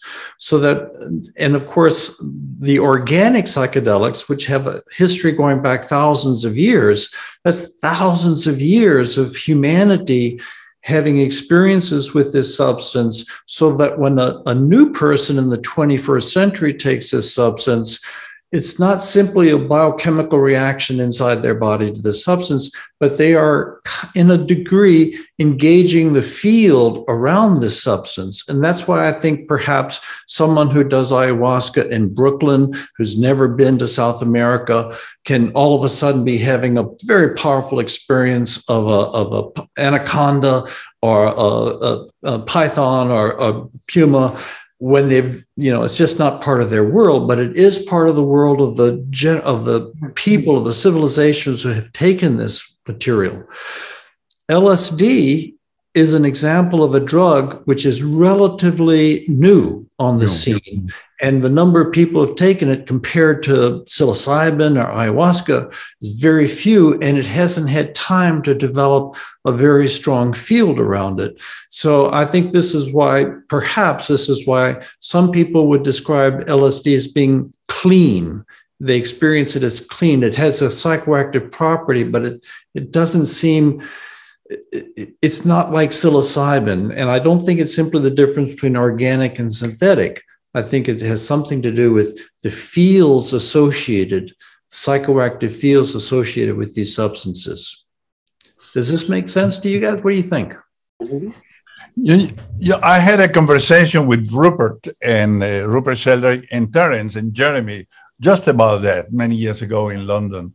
And, and it seems to me that what you say, Chris, and, and Rupert, uh, acknowledge it, you know, there is some kind of feel. The more people do it, the easier it's getting, you know, somehow. So, so, so uh, uh, many of the first experiences you read about ayahuasca, people are terrified. Now people get into into that, but of course, as you said, you we need trained people because otherwise uh, um, it can be quite quite damaging. In fact, I know Chilean psychology, uh, psychology therapist in in in California who, she says, I just take care of the people who come back from Peru completely screwed up mm-hmm. after taking ayahuasca there, you know, and mm-hmm. so so yeah yeah yes yeah i think all of us would agree uh, we are all in this panel pro psychoactive substances pro psychedelics and are at the same time uh, are very concerned about people who take psychedelics under less than ideal circumstances and can they can hurt themselves and do damage and, and it can take years perhaps to undo some of the things which are done. In a safe context well managed sessions can be very beneficial. In an unsafe or, or, or not well managed situation can be very detrimental. Mm-hmm. Yeah absolutely. Yeah. Mm-hmm. In the in the underground here in Northern California, there seems to be a sort of standard of practice for serious people who are giving psychedelics illegally. They typically will start with MDMA, and then after a while, they'll start introducing low amounts of psilocybin with the MDMA, and then mm-hmm. they'll lower the amount of MDMA and increase the amount of psilocybin until eventually at some point in the future it's all psilocybin. Are you guys do you, you guys aware of that kind of practice? Do you have any comments about that? I don't have any experience, uh, but it sounds interesting. I know I know a therapist. I cannot say her name, who, who, who has been doing this uh, with MDMA and, and LSD as well. M- MDMA, psilocybin, and LSD. But in in her case, more LSD because psilocybin, pure psilocybin is difficult to get. You know, but yeah, it seems interesting. It, it seems interesting. Um, uh, certainly, MDMA may take away the fear uh, for many people at the same time, eh, it's not the same with the psychedelics. You know, it's like a, you know like having a warm bath compared to jumping into an ice mm-hmm. sea. You know? So, yeah, that basic approach, the sort of starting gradually, starting this is an MDMA being an empathogen, mm. less than a full blown psychedelic uh, moving into the deep end of the pool slowly, gradually, making a transition. I, I, think that makes a lot of sense. I mean, from a therapeutic perspective, because there's no value or there's not much value in plunging a person into a territory which overwhelms them, frightens them, jars them, uh, and they can't really bring back much of deep therapeutic value or even much of deep philosophical value. Mm-hmm. So slow, I think, is it makes a lot of sense. Yeah. Before we leave this topic, um, can someone talk about the differences in terms of uh, ayahuasca versus smoke DMT and entity encounters? Because I've noticed there are similarities, but a lot of differences um, Mhm. with those two experiences. Yeah, well, I have, uh, uh, I have having few, few experiences with DMT. It's too too fast. I mean, to to bring anything, uh, uh, to bring any. So it's very difficult to compare a DMT experience with an ayahuasca experience because in, in- with ayahuasca you have the time. You have three four hours, you know, of dealing with thing. With the DMT, it's, it's so short. It's just uh, two, three, four minutes. You know, in, in, in- there is no time with uh, Changa. I, I just a couple of experiences with them. It is like uh, somehow it was interesting because you had a little bit more time, you know, to deal with, and uh, and and so so uh, yeah, I know, and I and I remember I had one very interesting Changa experience talking about about entities, which was very very interesting. You know, um, uh, I was on a path, and there was these uh, uh, entities uh, in, in, in well beautiful costumes, you know, or whatever, and and and leading me the way to a path. But with one hand, they were saying this way, but with the left hand or another hand was telling me, no, go that way. so, so it was just like, who am I going to listen to? You know? and, and so I make some step and then you say, I cannot make up my mind. I'm sorry, open my eyes. That's it. You know? so I didn't trust any of the paths. That's great. Yeah. Mhm. Anyone else want to talk about the smoke versus uh, ayahuasca? I agree with Luis. I mean, it, it I find I don't really. Uh, I've done D, smoke DMT a couple of times, and uh, it's so fast. It plunges you so quickly. It's interesting experience, but it's so hard to bring material back. And in that context, I think uh, the long time window of ayahuasca is very helpful. And similarly, the long time window of LSD uh, is very beneficial because it it's not simply a matter of having new experiences, but it's a matter of being able to let those experiences impact you, uh, engage those experiences, work with them, be healed by those experiences. And then, if you get into very, very deep territory, the long tail of ayahuasca, or the long tail of LSD gives you time to process and integrate on your return. So, at the end of the day, you really have brought back something you know substantial rather than just plunge in real quick and come out and i know you know the long the big window is an inconvenience for many people today you know it's just Mhm. inconvenient you know you want to get in and out but in indigenous cultures in truly psychedelic cultures they consider the long window a benefit because you get to spend more time in that magical interface Yeah, and, and like you say, Chris, you, we have to bring something back. O- otherwise, why? It's like watching a fantastic film, you know, and very excited, and next day there is nothing of it. So if we do not bring it back and changes us, you know, so it is just a, a very banal exercise. Yeah. This came up in my LSD work where uh, when I was this, I was at very advanced stage of the work and I was beginning to enter into communion with what I call the diamond luminosity, the, the domain of sheer radiance, what Buddhism calls Dharmakaya, uh, the clear light of absolute reality. And once you once you touch that reality, all you want to do is go back to it. I mean, it's just it, you know, it's just so magnificent. And it took me a year of another five sessions of intense purification before I could go back into that reality. And then another year more purification before I could go back. And along the way, one of the things I began to realize was that there was a consciousness or, or, some consciousness controlling my experiences and not letting me have too much too soon. Mm-hmm. And I began to understand that the because the purpose of the journey was not simply to have new experiences. The purpose of the journey was to bring back those experiences and change your earthly existence. Right, right. In the religions of the last 5,000 years, the axial age religions, they all have been tended to be up and out cosmologies. So you achieve some uh, uh, moksha or nirvana, and you leave when you when you die, or you achieve salvation and you go to paradise when you die.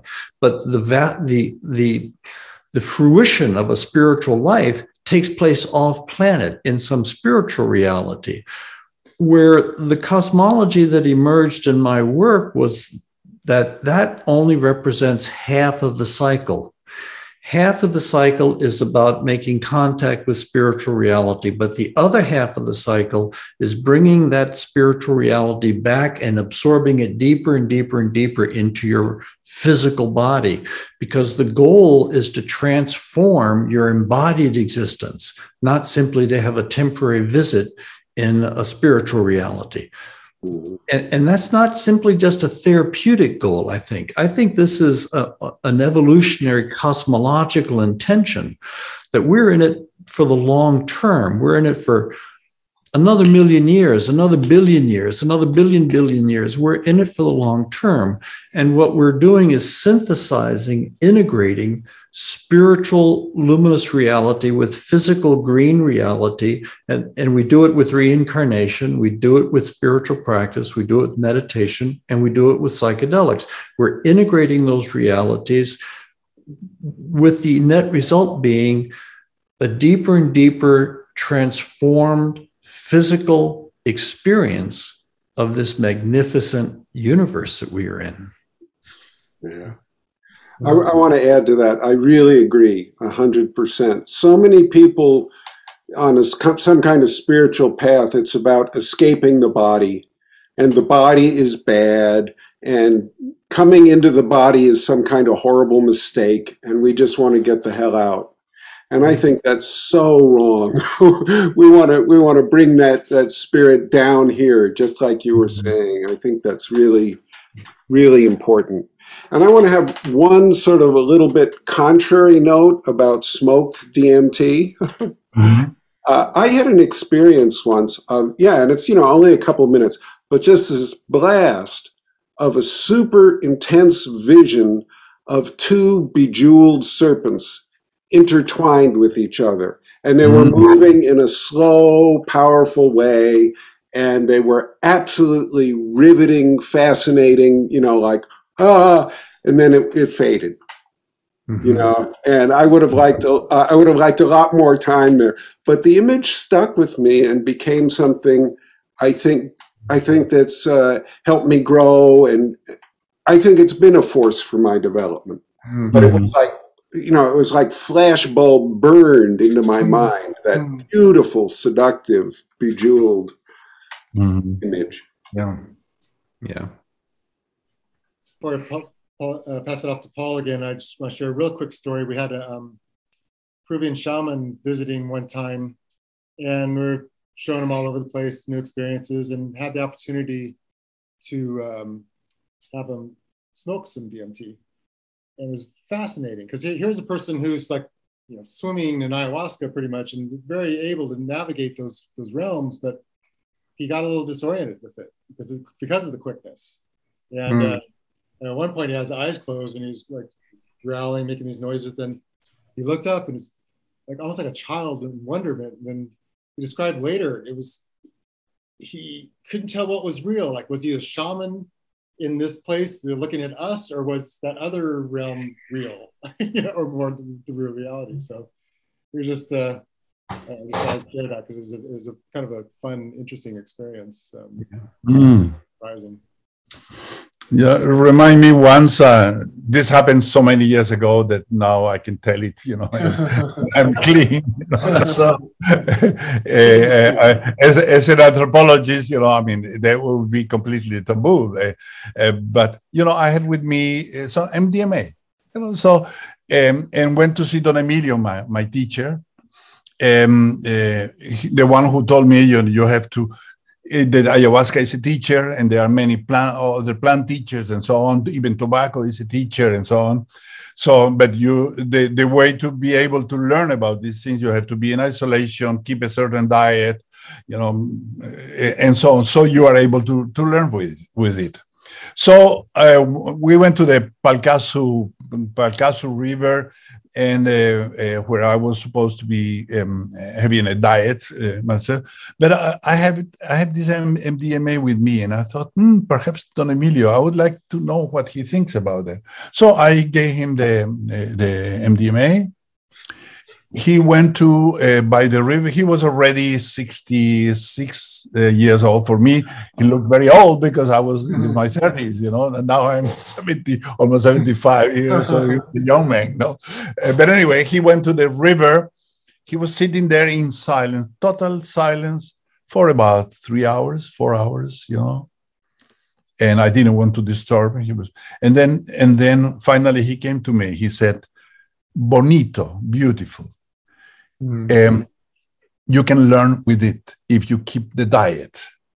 Mm. So, so he was uh, applying the same thing, you know, that you have to be in isolation to keep a certain diet and all this, you know, purification in order to be able to really learn from the MDMA. So, uh, so I thought it was very interesting, and and it will be you know how can we apply these techniques you know because the the, um, the Indians know I mean they have been doing, using this for thousands of years you know so you have to be in a certain situation in order to be able to learn from this um, uh, substance or plants and so on. Thank you. Uh, before I pass it off to Paul, I, am noticing it's 2:36, and I'm just wondering: is uh, do any of the panelists need to leave exactly at uh, three, or can you stick around a little longer, possibly? It's okay for a little longer? It's okay. Great, great. Yeah. Okay. So, uh, Robert, we teased this uh, early on, but I'm wondering um, if you can talk a little bit more about um, how do you know if you're if you're dealing with a part of yourself, one of the one of the parts, or an entity. If you're if you're if you're speaking to the, such a thing, what do you think? This is an incredibly important question. And I think the big mistake that's been made in the past is people try and get rid of a part of themselves thinking it's an entity. And that mm. causes so much damage. Like, I love chocolate. and there are other parts of me who are really worried about my belly the parts of me that are worried about my belly point to the one who loves chocolate and say, That's an entity. Get that SOB out of here. and, and all sorts of stuff like that. A lot more serious. Like alcoholics often have that kind of experience. And it's really another part of them. So the, the, the number one question I ask is, What's your intention? You know, why why do you not like that part who loves chocolate? What's what's your intention in this? Or ask the chocolate loving part, why do you like that? Even with like a suicidal part, many of them, they're parts and they have a really good intention. And what's, why do you do that? Well, then she'd be off the planet. Well, what's good about her being off the planet?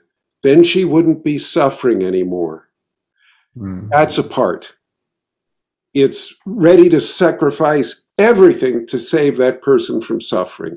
That's a part. You want to welcome it, help it come in, you know, all of this stuff. But if you go to some being or thing inside that wants to kill the person, why do you, she wouldn't be on the planet anymore? What's good about her not being on the planet anymore? And sometimes this takes like six or eight questions, one after another. Well, that means I would have won. you know, that's probably an entity. Yeah. But intention and really drill down because a lot of these parts don't seem to have a good intention at the beginning. And then the second thing I've discovered, and it's not just me, if you ask the being directly, are you a part of her? Or you have the person ask, are you a part of her system? Are you a part of my system? They don't seem to be able to lie. They lie about everything else. Mm-hmm. but this uh-huh. one, they seem to be, they don't, and most of the time they'll try and avoid answering the question. And I had one, it avoided, you know, and then I was teaching, so I was supervising the therapist, and it said, You're supposed to be a teacher. That's a really stupid question. Don't you have anything smarter to ask? and I said, Yeah, it might be really stupid, but it's really simple. Are you a part of her? And then it roared back, No, I'm not. I'm a much more powerful being, and I'm going to crush you like a worm the same way I'm going to crush her. Interesting. That was Mhm. not a part of her system. So those are the two things intention, intention, intention. Directly ask the thing, the thing itself, Are you a part? Mhm. All right. Mhm. So I'm curious. Um, Brad and I have encountered shaman that have said, um, "Sure, I've encountered entities," and others that have said, uh, "No, not at all. Don't believe in it whatsoever." What's been your experience, uh, the three of you, as far as uh, shaman and their and their attitudes towards entities? Uh, Luis. Well, hmm, of course, every all the, my teachers that are dead now from a long time ago in the 80s, they they were all they all of course had seen entities, the spirits of, of the plants and the animals. They call it the madre, and so on. But it made me think. Now, with the, your question is, I was thinking of my own teacher, Don Emilio, Mhm. uh, and, uh, and and he was. Uh, he was uh, also afraid of uh, of spirits, of certain spirits. I mean, the thing is that in the Amazon they have the they have this idea that the shaman is um, is part of being a shaman, be able to to harm. I mean, you know, you you have a, a well, I mean, uh, or let's put it in this way: when when the, you get into this world, the first thing that you are offered is some kind of power. You know, Yes. you are able to do this. You can you know do harm. And then you have to uh, surpass this temptation in order to be able to become a healer. But there is an in between there are people who are stuck in both worlds you know? So they have the power to do- harm and the, and the, and the, and the power uh, to heal. And very often i don't know whether it is some well we don't know how old ayahuasca is really.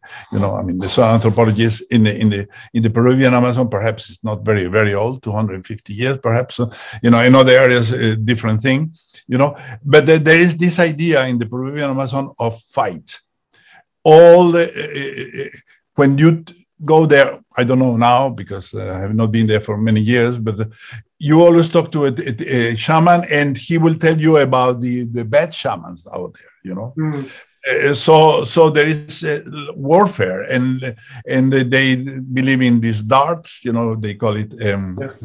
um, I don't remember now the, the, the name, uh, the, you know, the darts that they, so it is warfare, you know, when you go to the Peruvian Amazon, uh, at least in in my time, it was like, my goodness, you know, and, uh, and so Don Emilio himself, he had been hurt by one virote. They use the word virote. Mhm. Virote, but um, even the word virote is very interesting because it is the the arrow thrown by cross um, you know the ballestas in Spanish. Uh, um, in the when the Spanish went to the Amazon, they could not use uh, powder. You know, uh, they got humid. They could not. Uh, you know, so they were using the ballestas, which is a crossbow. Yes. Yeah, exactly. Mhm. And so they use the, the term virote, uh, which is the, the, the, the arrow for those illnesses. And so they are all the time about this. So shamanism is about extracting, extracting these virotes, throwing them back to the person who caused it. It's just warfare. And so Don Emilio, my teacher, was in that that sphere, you know. Uh, now, uh, uh, uh, in my own work uh, later on, I simply refuse to accept that worldview of warfares and all this. Simply, I say no. I, I mean, they not here, you know, not here. They do not come, and so and so somehow never had any kind of encounters of with enemies or this kind of thing. So so always good ones. Um, uh, so even though they can be frightening, uh, as well, again, you know, you accept that they, they are. They, they it is not it is not their fault that they look so ugly, you know. So.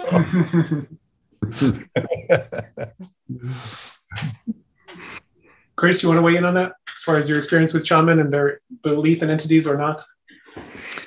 Uh, I really can't because I really have not worked with any shamans. I mean, I've read Oh, books okay. by shamans and about shamans. Um, but in all my psychedelic work, I really have only had one teacher, and that teacher is the universe. I mean, everything I've learned has been taught to me by the universe. And now, of course, uh, my Stan Grof has been a huge influence on me through his books and whatnot, and a colleague. And um, but I haven't had. In fact, one of the things which has really kind of put me off about some of the, you know, the the on the on the ground practical matters of shamanism is exactly what Luis has described. All this combative Yes. you know, light shamans, dark shamans, uh, antagonistic and fighting and whatnot. And none of, like you, Luis, none of that appealed to me whatsoever.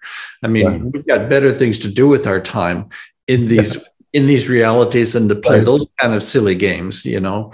Uh, yeah. So, but I don't have any experience with shamans uh, themselves, Gotcha. except Luis. Robert, Robert, how about you? Any any encounters with shaman, one way or the other? Yeah, my wife is Korean, and they have an amazing shamanic tradition, the Mudang.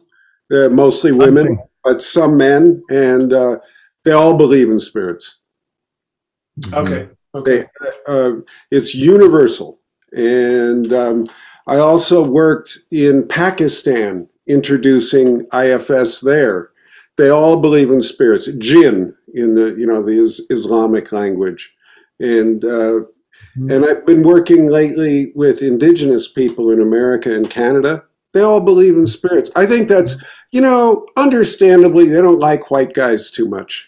yeah, yeah, they're you go there and they're go, they're like mm, another one of these idiots, and and I think the reason they sort of gave me a little bit of a entree was that I did believe in spirits, Mhm. and you know they thought, well, maybe this guy isn't as stupid as he looks, you know. So, so my experience is pretty much universal that uh, they bel they believe and accept spirits.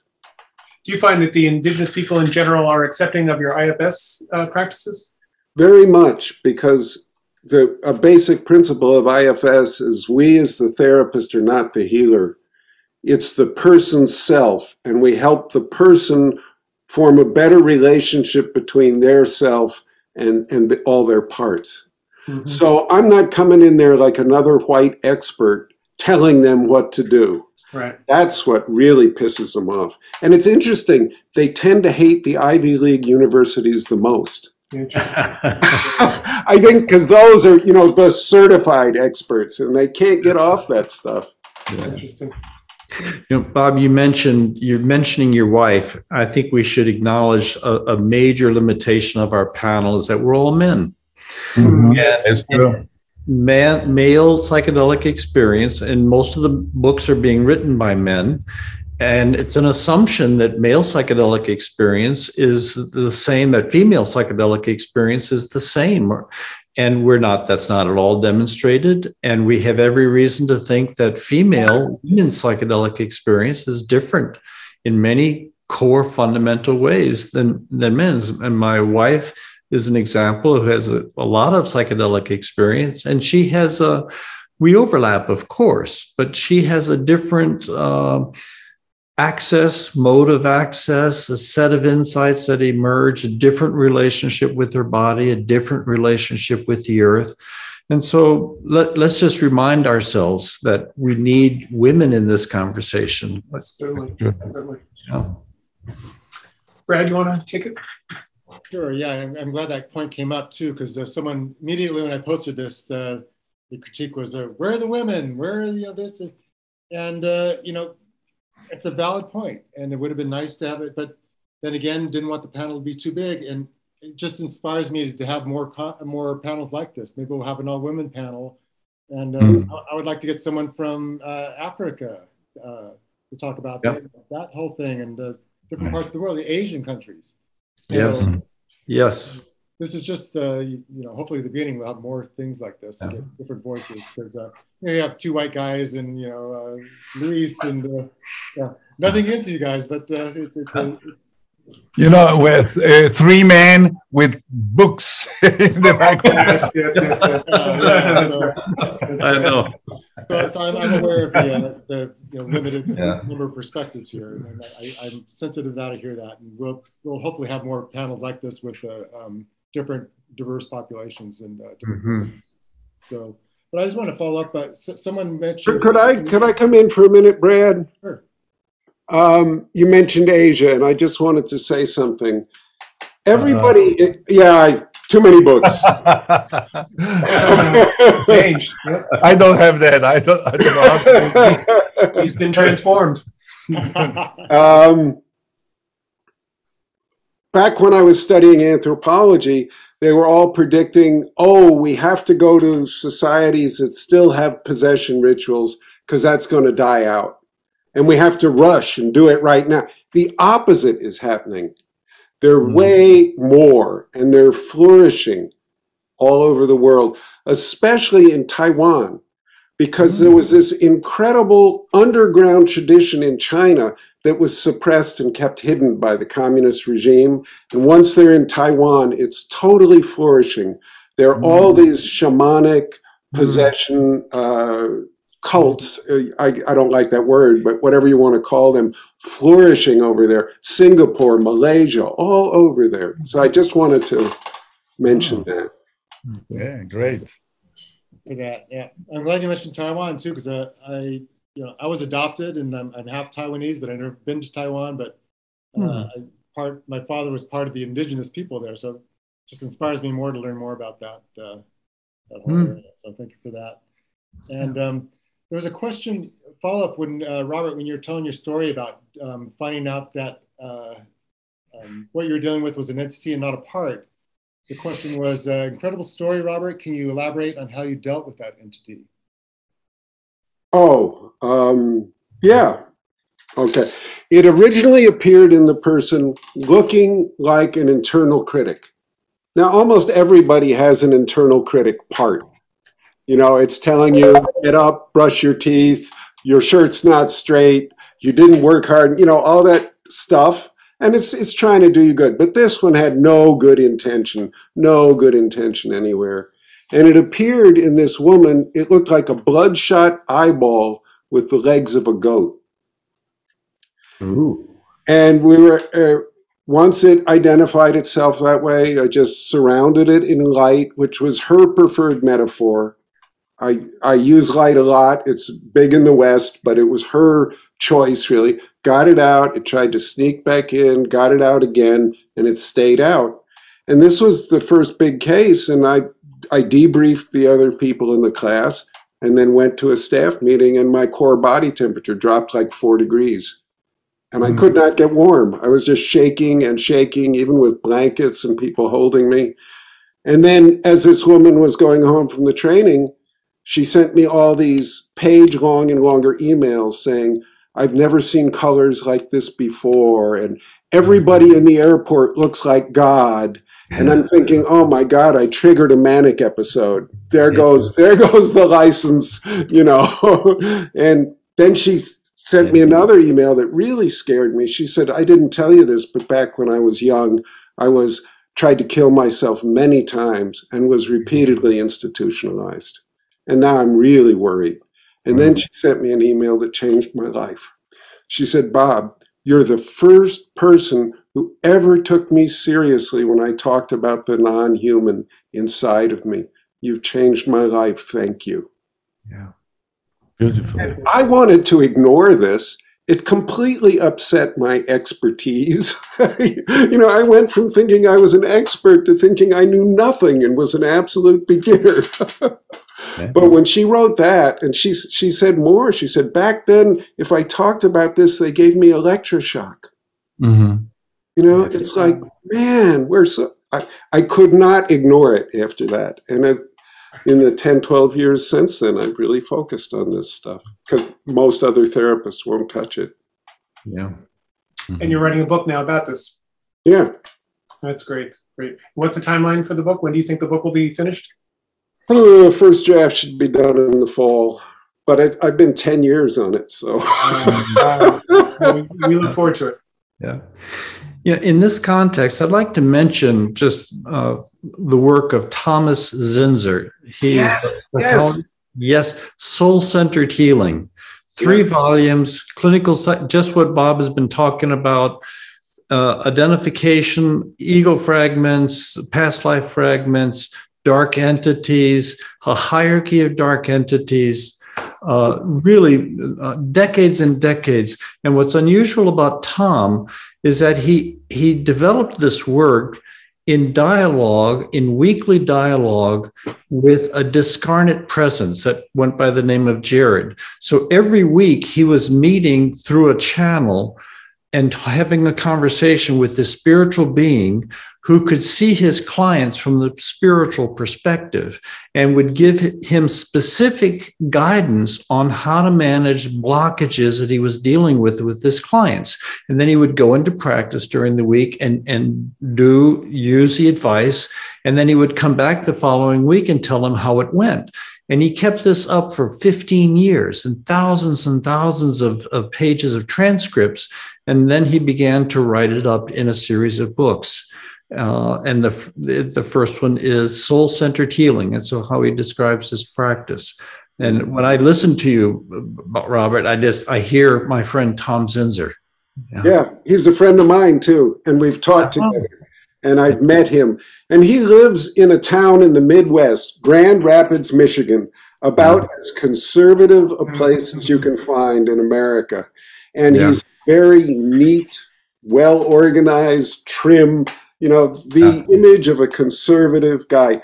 And he he's I so admire his courage because he has been ridiculed and hounded and you know all these people have told him he was nuts he nearly lost his license but he he would not be quiet he's this is real this yeah. is real it's time we spoke up this is real yeah mm-hmm.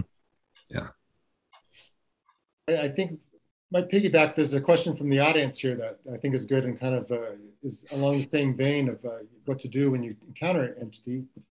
Uh, could you share on the topic of depossession work during the psychedelic ceremonies, where a participant of a psychedelic uh, of a psychedelic are in their experience and an entity comes forward up to the surface, speaking to where a shaman facilitator would compassionately support the suffering entity to move away from the person and instead move towards a more suitable place for both the entity and the person.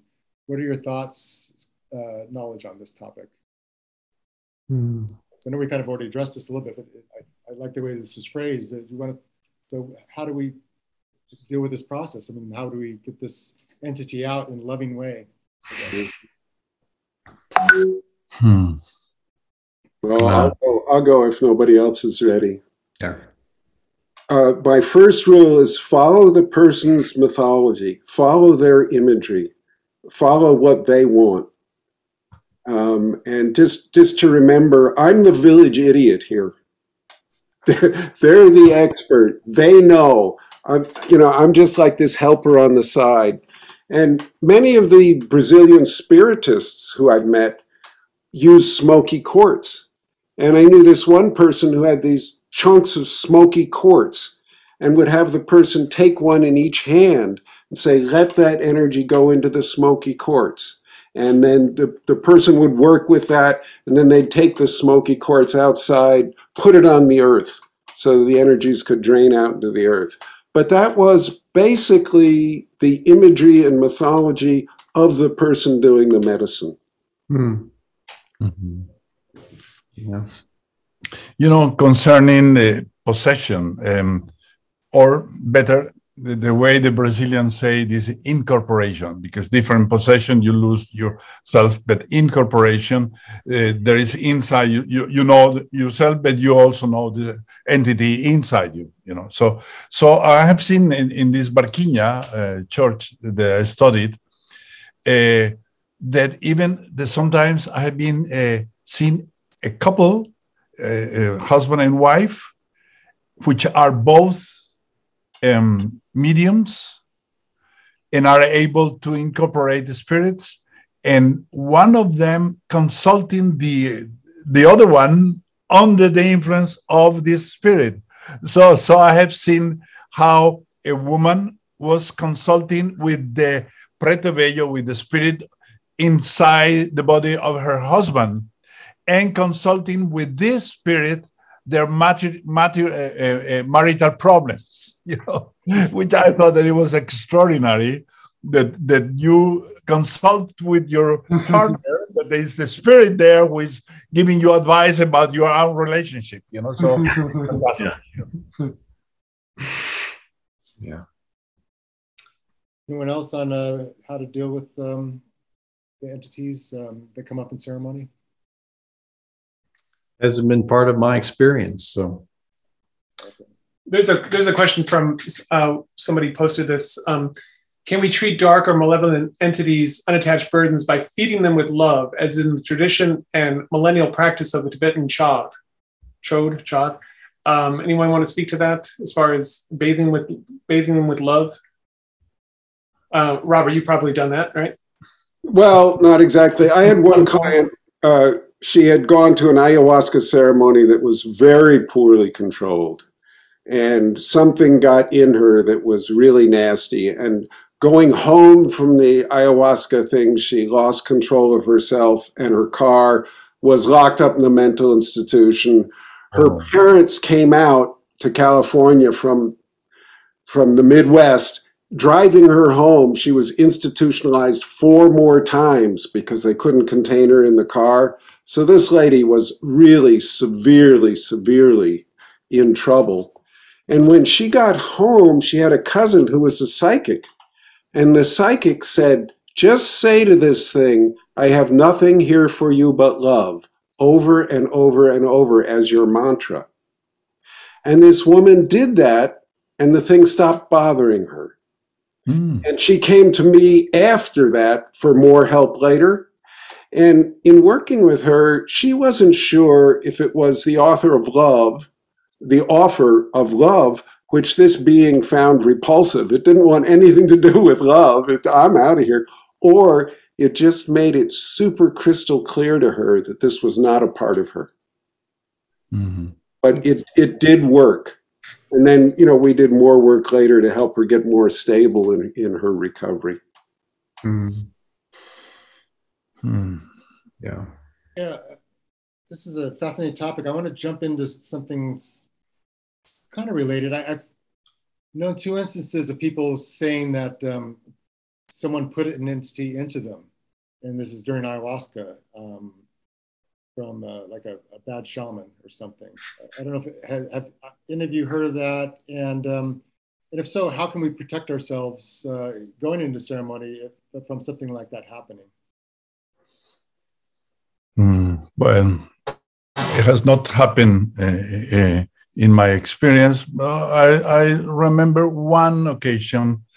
Uh, I used to tell people that, uh, well, that that's what they say in the Amazon that if you are under the effects of ayahuasca and then you see an entity inviting you, follow me, follow me, you never you never say yes. I mean, mm. in, in, in, the Amazon, they said that you can you can have an entity and you go follow and you get lost in the forest and then and you uh, you know and, and it can be terrible. I mean, uh, eaten by insects and all this. They can find you in a very poor state later on. If um, uh, so, I always say that to, to the people and. Uh, and one woman said that she was uh, not in in the space where I was, and um, went out and then saw an Indian, but this was didn't happen in the Amazon, and it was just invite him, you know. And then she remembered what I said, and she said no. And then she said that this and this Indian, you know, came close to her and touched her in the forehead, and then disappeared.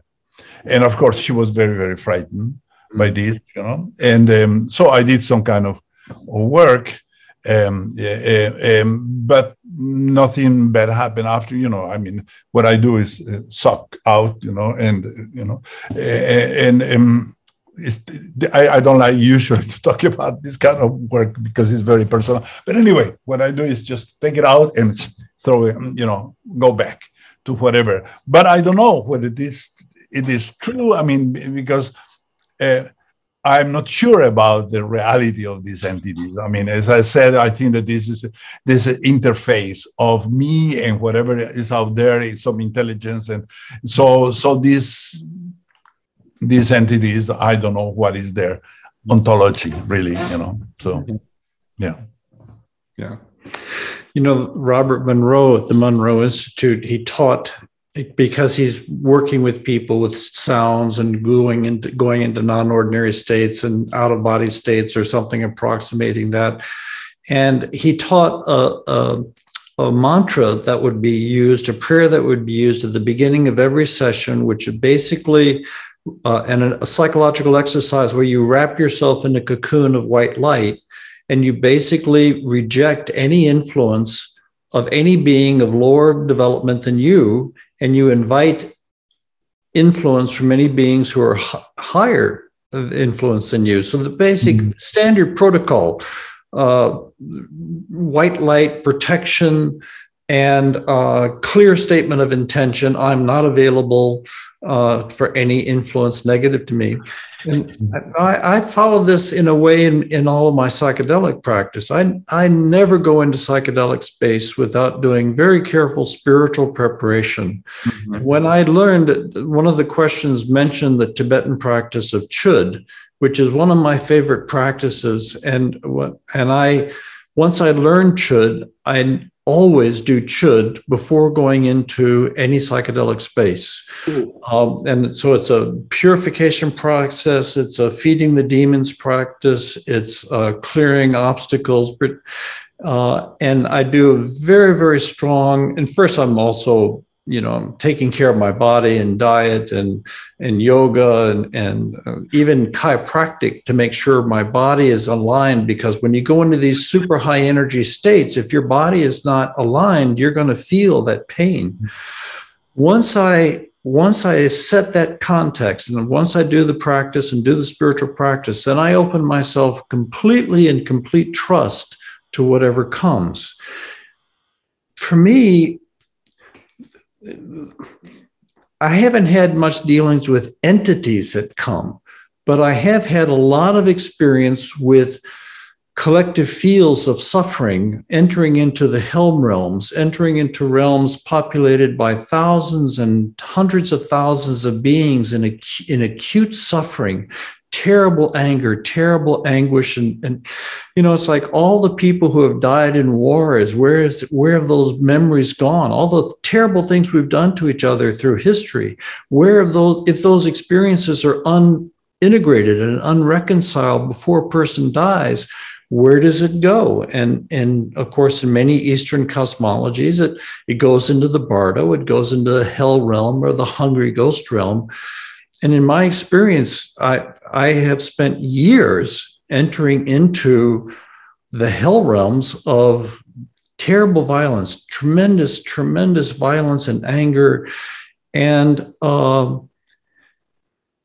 I would say, in some way, I embrace it with love, but my fundamental commitment was to embrace it by accepting it and letting myself experiencing it and trusting that this process was was intentional, it was purposive. It, I didn't enter into this through accident.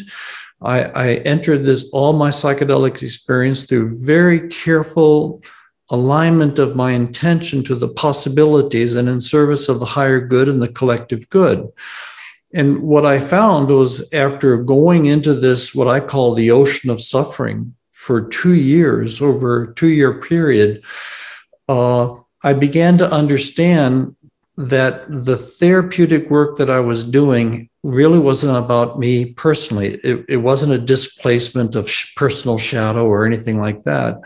That something had was working with me to use the hours that we I was in this condition to bring about a healing of some aspect of the collective psyche, of the collective unconscious, which you know, because the collective psyche is burdened by our humanity's history, just as our personal psyche is burdened by our unresolved personal trauma, traumatic history.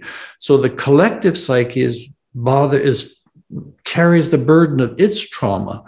But if you engage that trauma, if you engage that pain and suffering, and I, this is not something I would recommend everyone. I don't think it's everybody's karma to do this. I wouldn't recommend it as a carte blanche kind of thing, but it certainly was my karma to engage it consciously. Uh, and it brought great blessings in the end because, as always, anything you do for another, because the world is one, it comes back to you in some form as a blessing. So if you if you give something of service and if you help someone with their pain, even if it's a collective field of pain, if you make yourself available as a healing influence, it's going to come back to you in some form somewhere down the road. And it certainly did for me. Yeah. Thank you for doing that work, uh, Chris. I, I, remember reading your book. Uh, it just didn't sound like a very pleasant experience. And to go back in that repeatedly, uh, I admire your courage and uh, willingness to do that. Yeah. I, I want to say something to that question too. I think the basic protection is not being afraid. Mm-hmm. If you have frightened parts, forming a loving connection with them so that you're not like squashing them down. You know, it, it, this is actually one of the blessings, I think, of meeting entities. You get to meet all your frightened parts. Mm-hmm. It, it brings them forth. That's really a blessing, even though it can be difficult. So I try to discourage people from doing anything else. You know, stick with this most basic thing if you're not afraid of it in the inner world, it loses all power. Mm-hmm. You, you, you're okay. But there is one meditation that I've come across that helps many people, and it's called the Ceiling Light Meditation. And you just ask people to focus on the center of light or warmth within their body, wherever they find it. And you, you know, you ask them, open all your senses to it, focus on it, let it grow, Watch it as it fills your body all the way to the skin. And then notice any dark places or obstructions. Don't fight those. Those are important trailheads. Those are parts we want to come back and meet and get to know. Once it's all the way to your skin, then let it go poof out of you and extend out about two feet all around you. Mm-hmm. And when people start doing this, it takes them 30 minutes, 40 minutes, you know, to go through it. But if you practice it a while, you can do it in a couple breaths, five seconds. Yeah. So a lot of people find that if they practice that ahead of time, very helpful thing to, that they can do. Yeah. Great. Mm-hmm. Paul, do you mind if I do one more? No, go for it. Go for it. Um, so there's this whole notion that, uh, like I don't know if you've seen Twin Peaks, uh, where I mean, there's a notion about having to invite an entity inside of you uh, to let them in. You know, the whole thing about a vampire can't enter your house unless you invite them in, something like that. So, um, which brings me the, the, the, notion of mediumship, which is already mentioned, or channeling. And uh, are there any um, risks involved with channeling, like letting something inside of you? Because I'm assuming you have to somehow give your consent to do that, but what if something comes in that you would have a hard time getting out? Um, does anyone want to address that issue?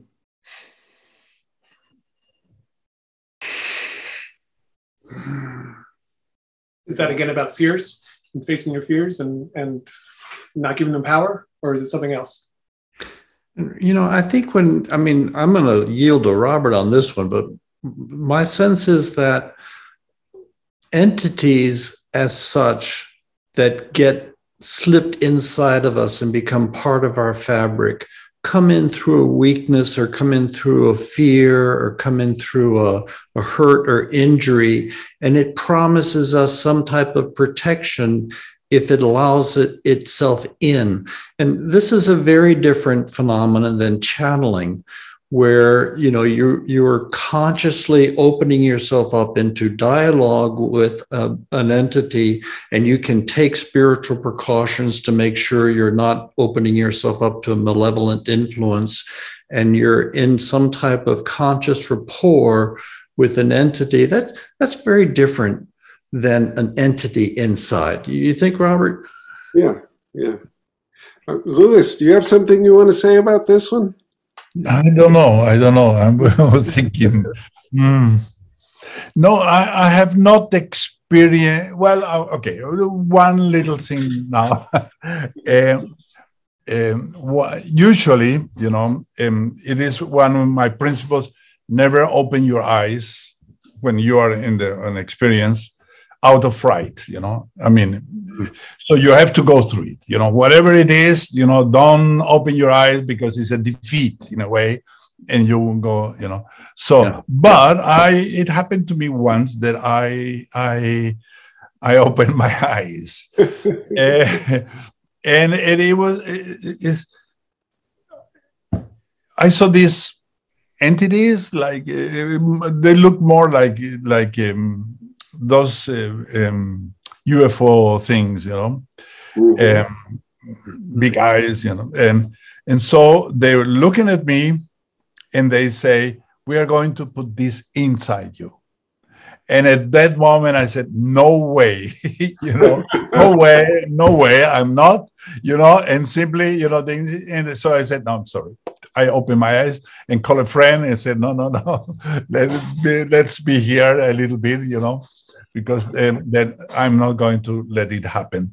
Later on, I was thinking why I was, why I didn't do it. You know, I should have done it. You know, I said, okay, just put it in and see what happens. You know, uh, so so so in a way, you know, it's a pity. It's a pity. You know? when I was in the uh, the Ibogaine conference in Mexico, that where you were at, Luis. Yeah. Um, there was someone taught, I, and I tried to look up his name, I couldn't find it, but he was doing something with measuring the energy field. Like he had a computer and it showed like it could show, I don't know if it's based on Kirlian photography or something like that, but showed the strength of your energy field and like chinks in the armor, so to speak. And he showed differences like when people drink alcohol, for example, there's, there's weaker energy and there's chinks in the armor.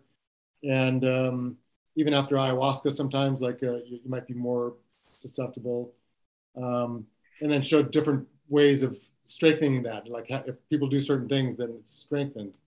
Um, I just want to get all your thoughts on that. Is do you think that is uh, does that sound right to you? Is there like chinks in the armor that from like drinking alcohol sort of, or different harmful substances?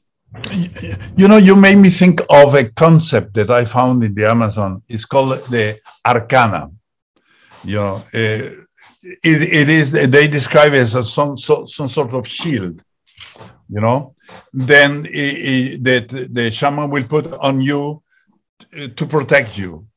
And among the Shipibo, this shield takes the form of those, the typical Shipibo patterns. You know, they are so very popular. Many people have been to the Amazon. And they bring this fantastic, um, you know, the iconography in on the shirts and so on, skirts and so on.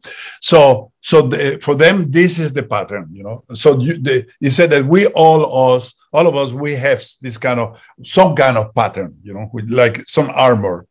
And for the Shipibo, the illness is distortion in the patterns so that somehow you pan are not together and so you are open to disease you know. And and one of the things that they do they they they call the hummingbird you know. And the, there is a song and the coming hummingbird will come and with the wings will make music and will restore the patterns, you know. Uh, in the Amazon, very often, and I think in the shamanism everywhere. I mean, I'm not completely sure about that, but the importance that songs have in, you know, everywhere in the shaman, you know. So in the Amazon, they will say they will sing the song so that they will restore the pattern. When I was myself doing the diet with a with Don. Um, uh, oh, I, I, forgot the name. Uh, uh, people shaman. Um, I, I spent a month with him. Um, oh, would come to me the name.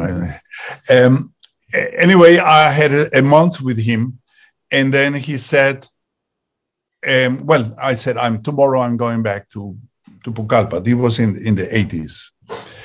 And then he said, "Okay, now I'm going to put you in Arcana, so that you are protected when you go back." And um, so he was singing a song and then I said, what is this? And he took one of those skirts, of the Shipibo skirts, and showed them to me and said, I'm putting this on you. Now, I said this because there was a, a whole polemic. There was an uh, Angelika Gebhart an anthropologist, German anthropologist, who mentioned this, who said that in the Shipibo, all healing it is through songs, you know. And, and then she's saying that in a way, the song is like, like, not a script, you know. I mean, you know, so it is like something is putting on you. And some people interpret interpret that as being a, like a, a, transcription, you know, somehow of music. This pattern is that music. And of course, it is not like that. You know, uh, uh, but anyway, all healing among the Shipibo is about musicality, musicality, putting songs into you and and also perfumes. You know, so so that is you know, so the the shield. So that that that is my experience. You know, the, of of having this kind of of shield, um, uh, uh, which in, in fact, you know, I have to say this was in the 80s, you know, once I was taking ayahuasca with another shaman and then, and then he said, ah, oh, so you got this, you know, so he was seeing that arcana that somebody had put on me. Uh, so, okay. Well, yeah. Mm-hmm. Yeah. Anyone else want to comment about protective energy field and even the ability to to look at it technologically? Do you think that's real? Um,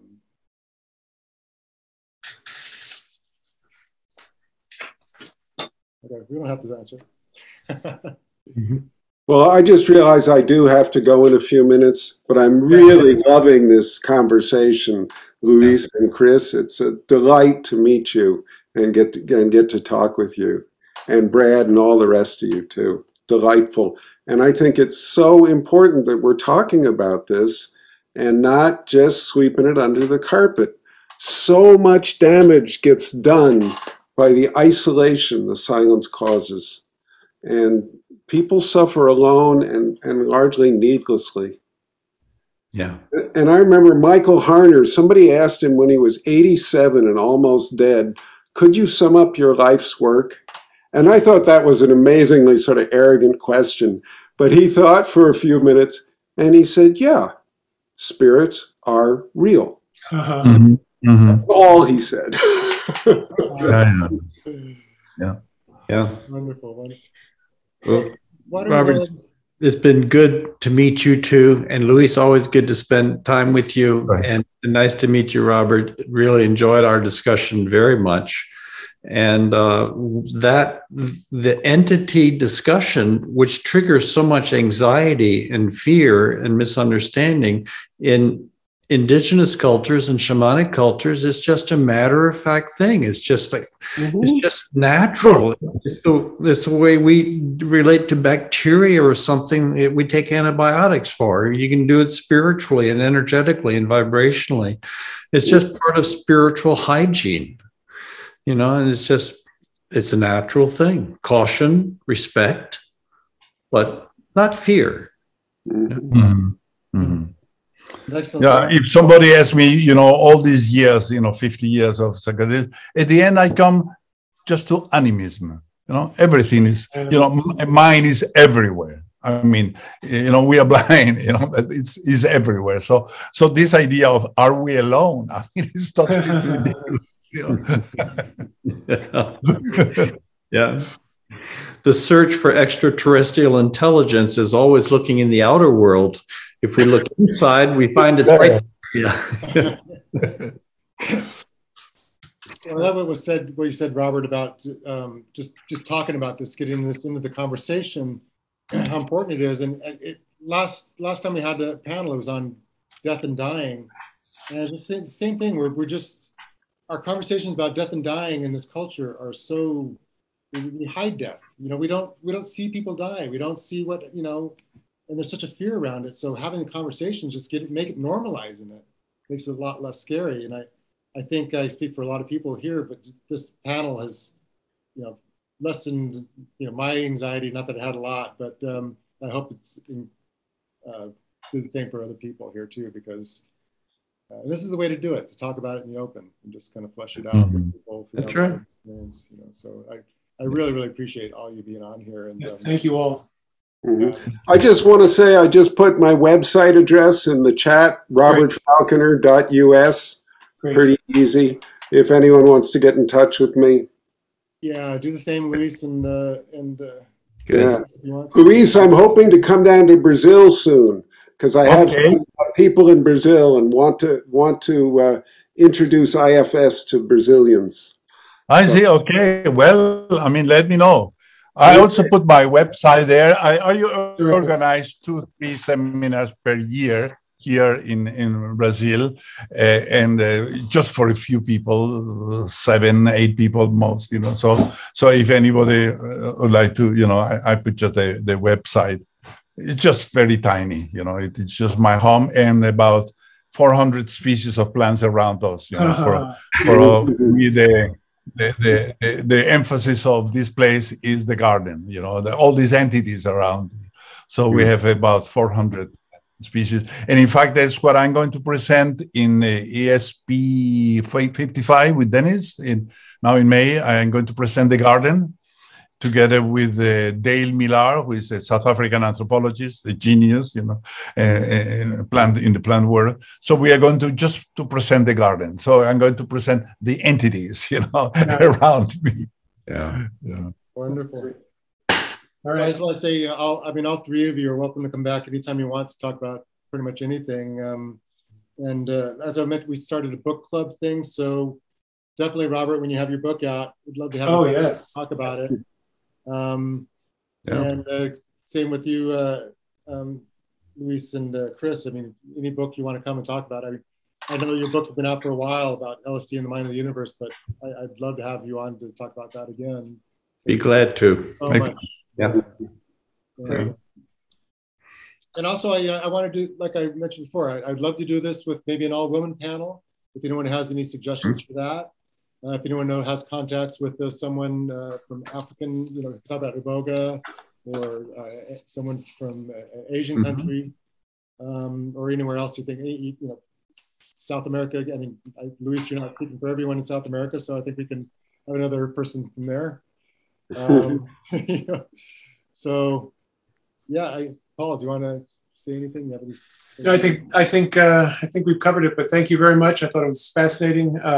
My uh, my concerns or, or, or, or questions about entities have, have somewhat been answered, and, and uh, I, I thought the conversation was won- wonderful. So thank you all.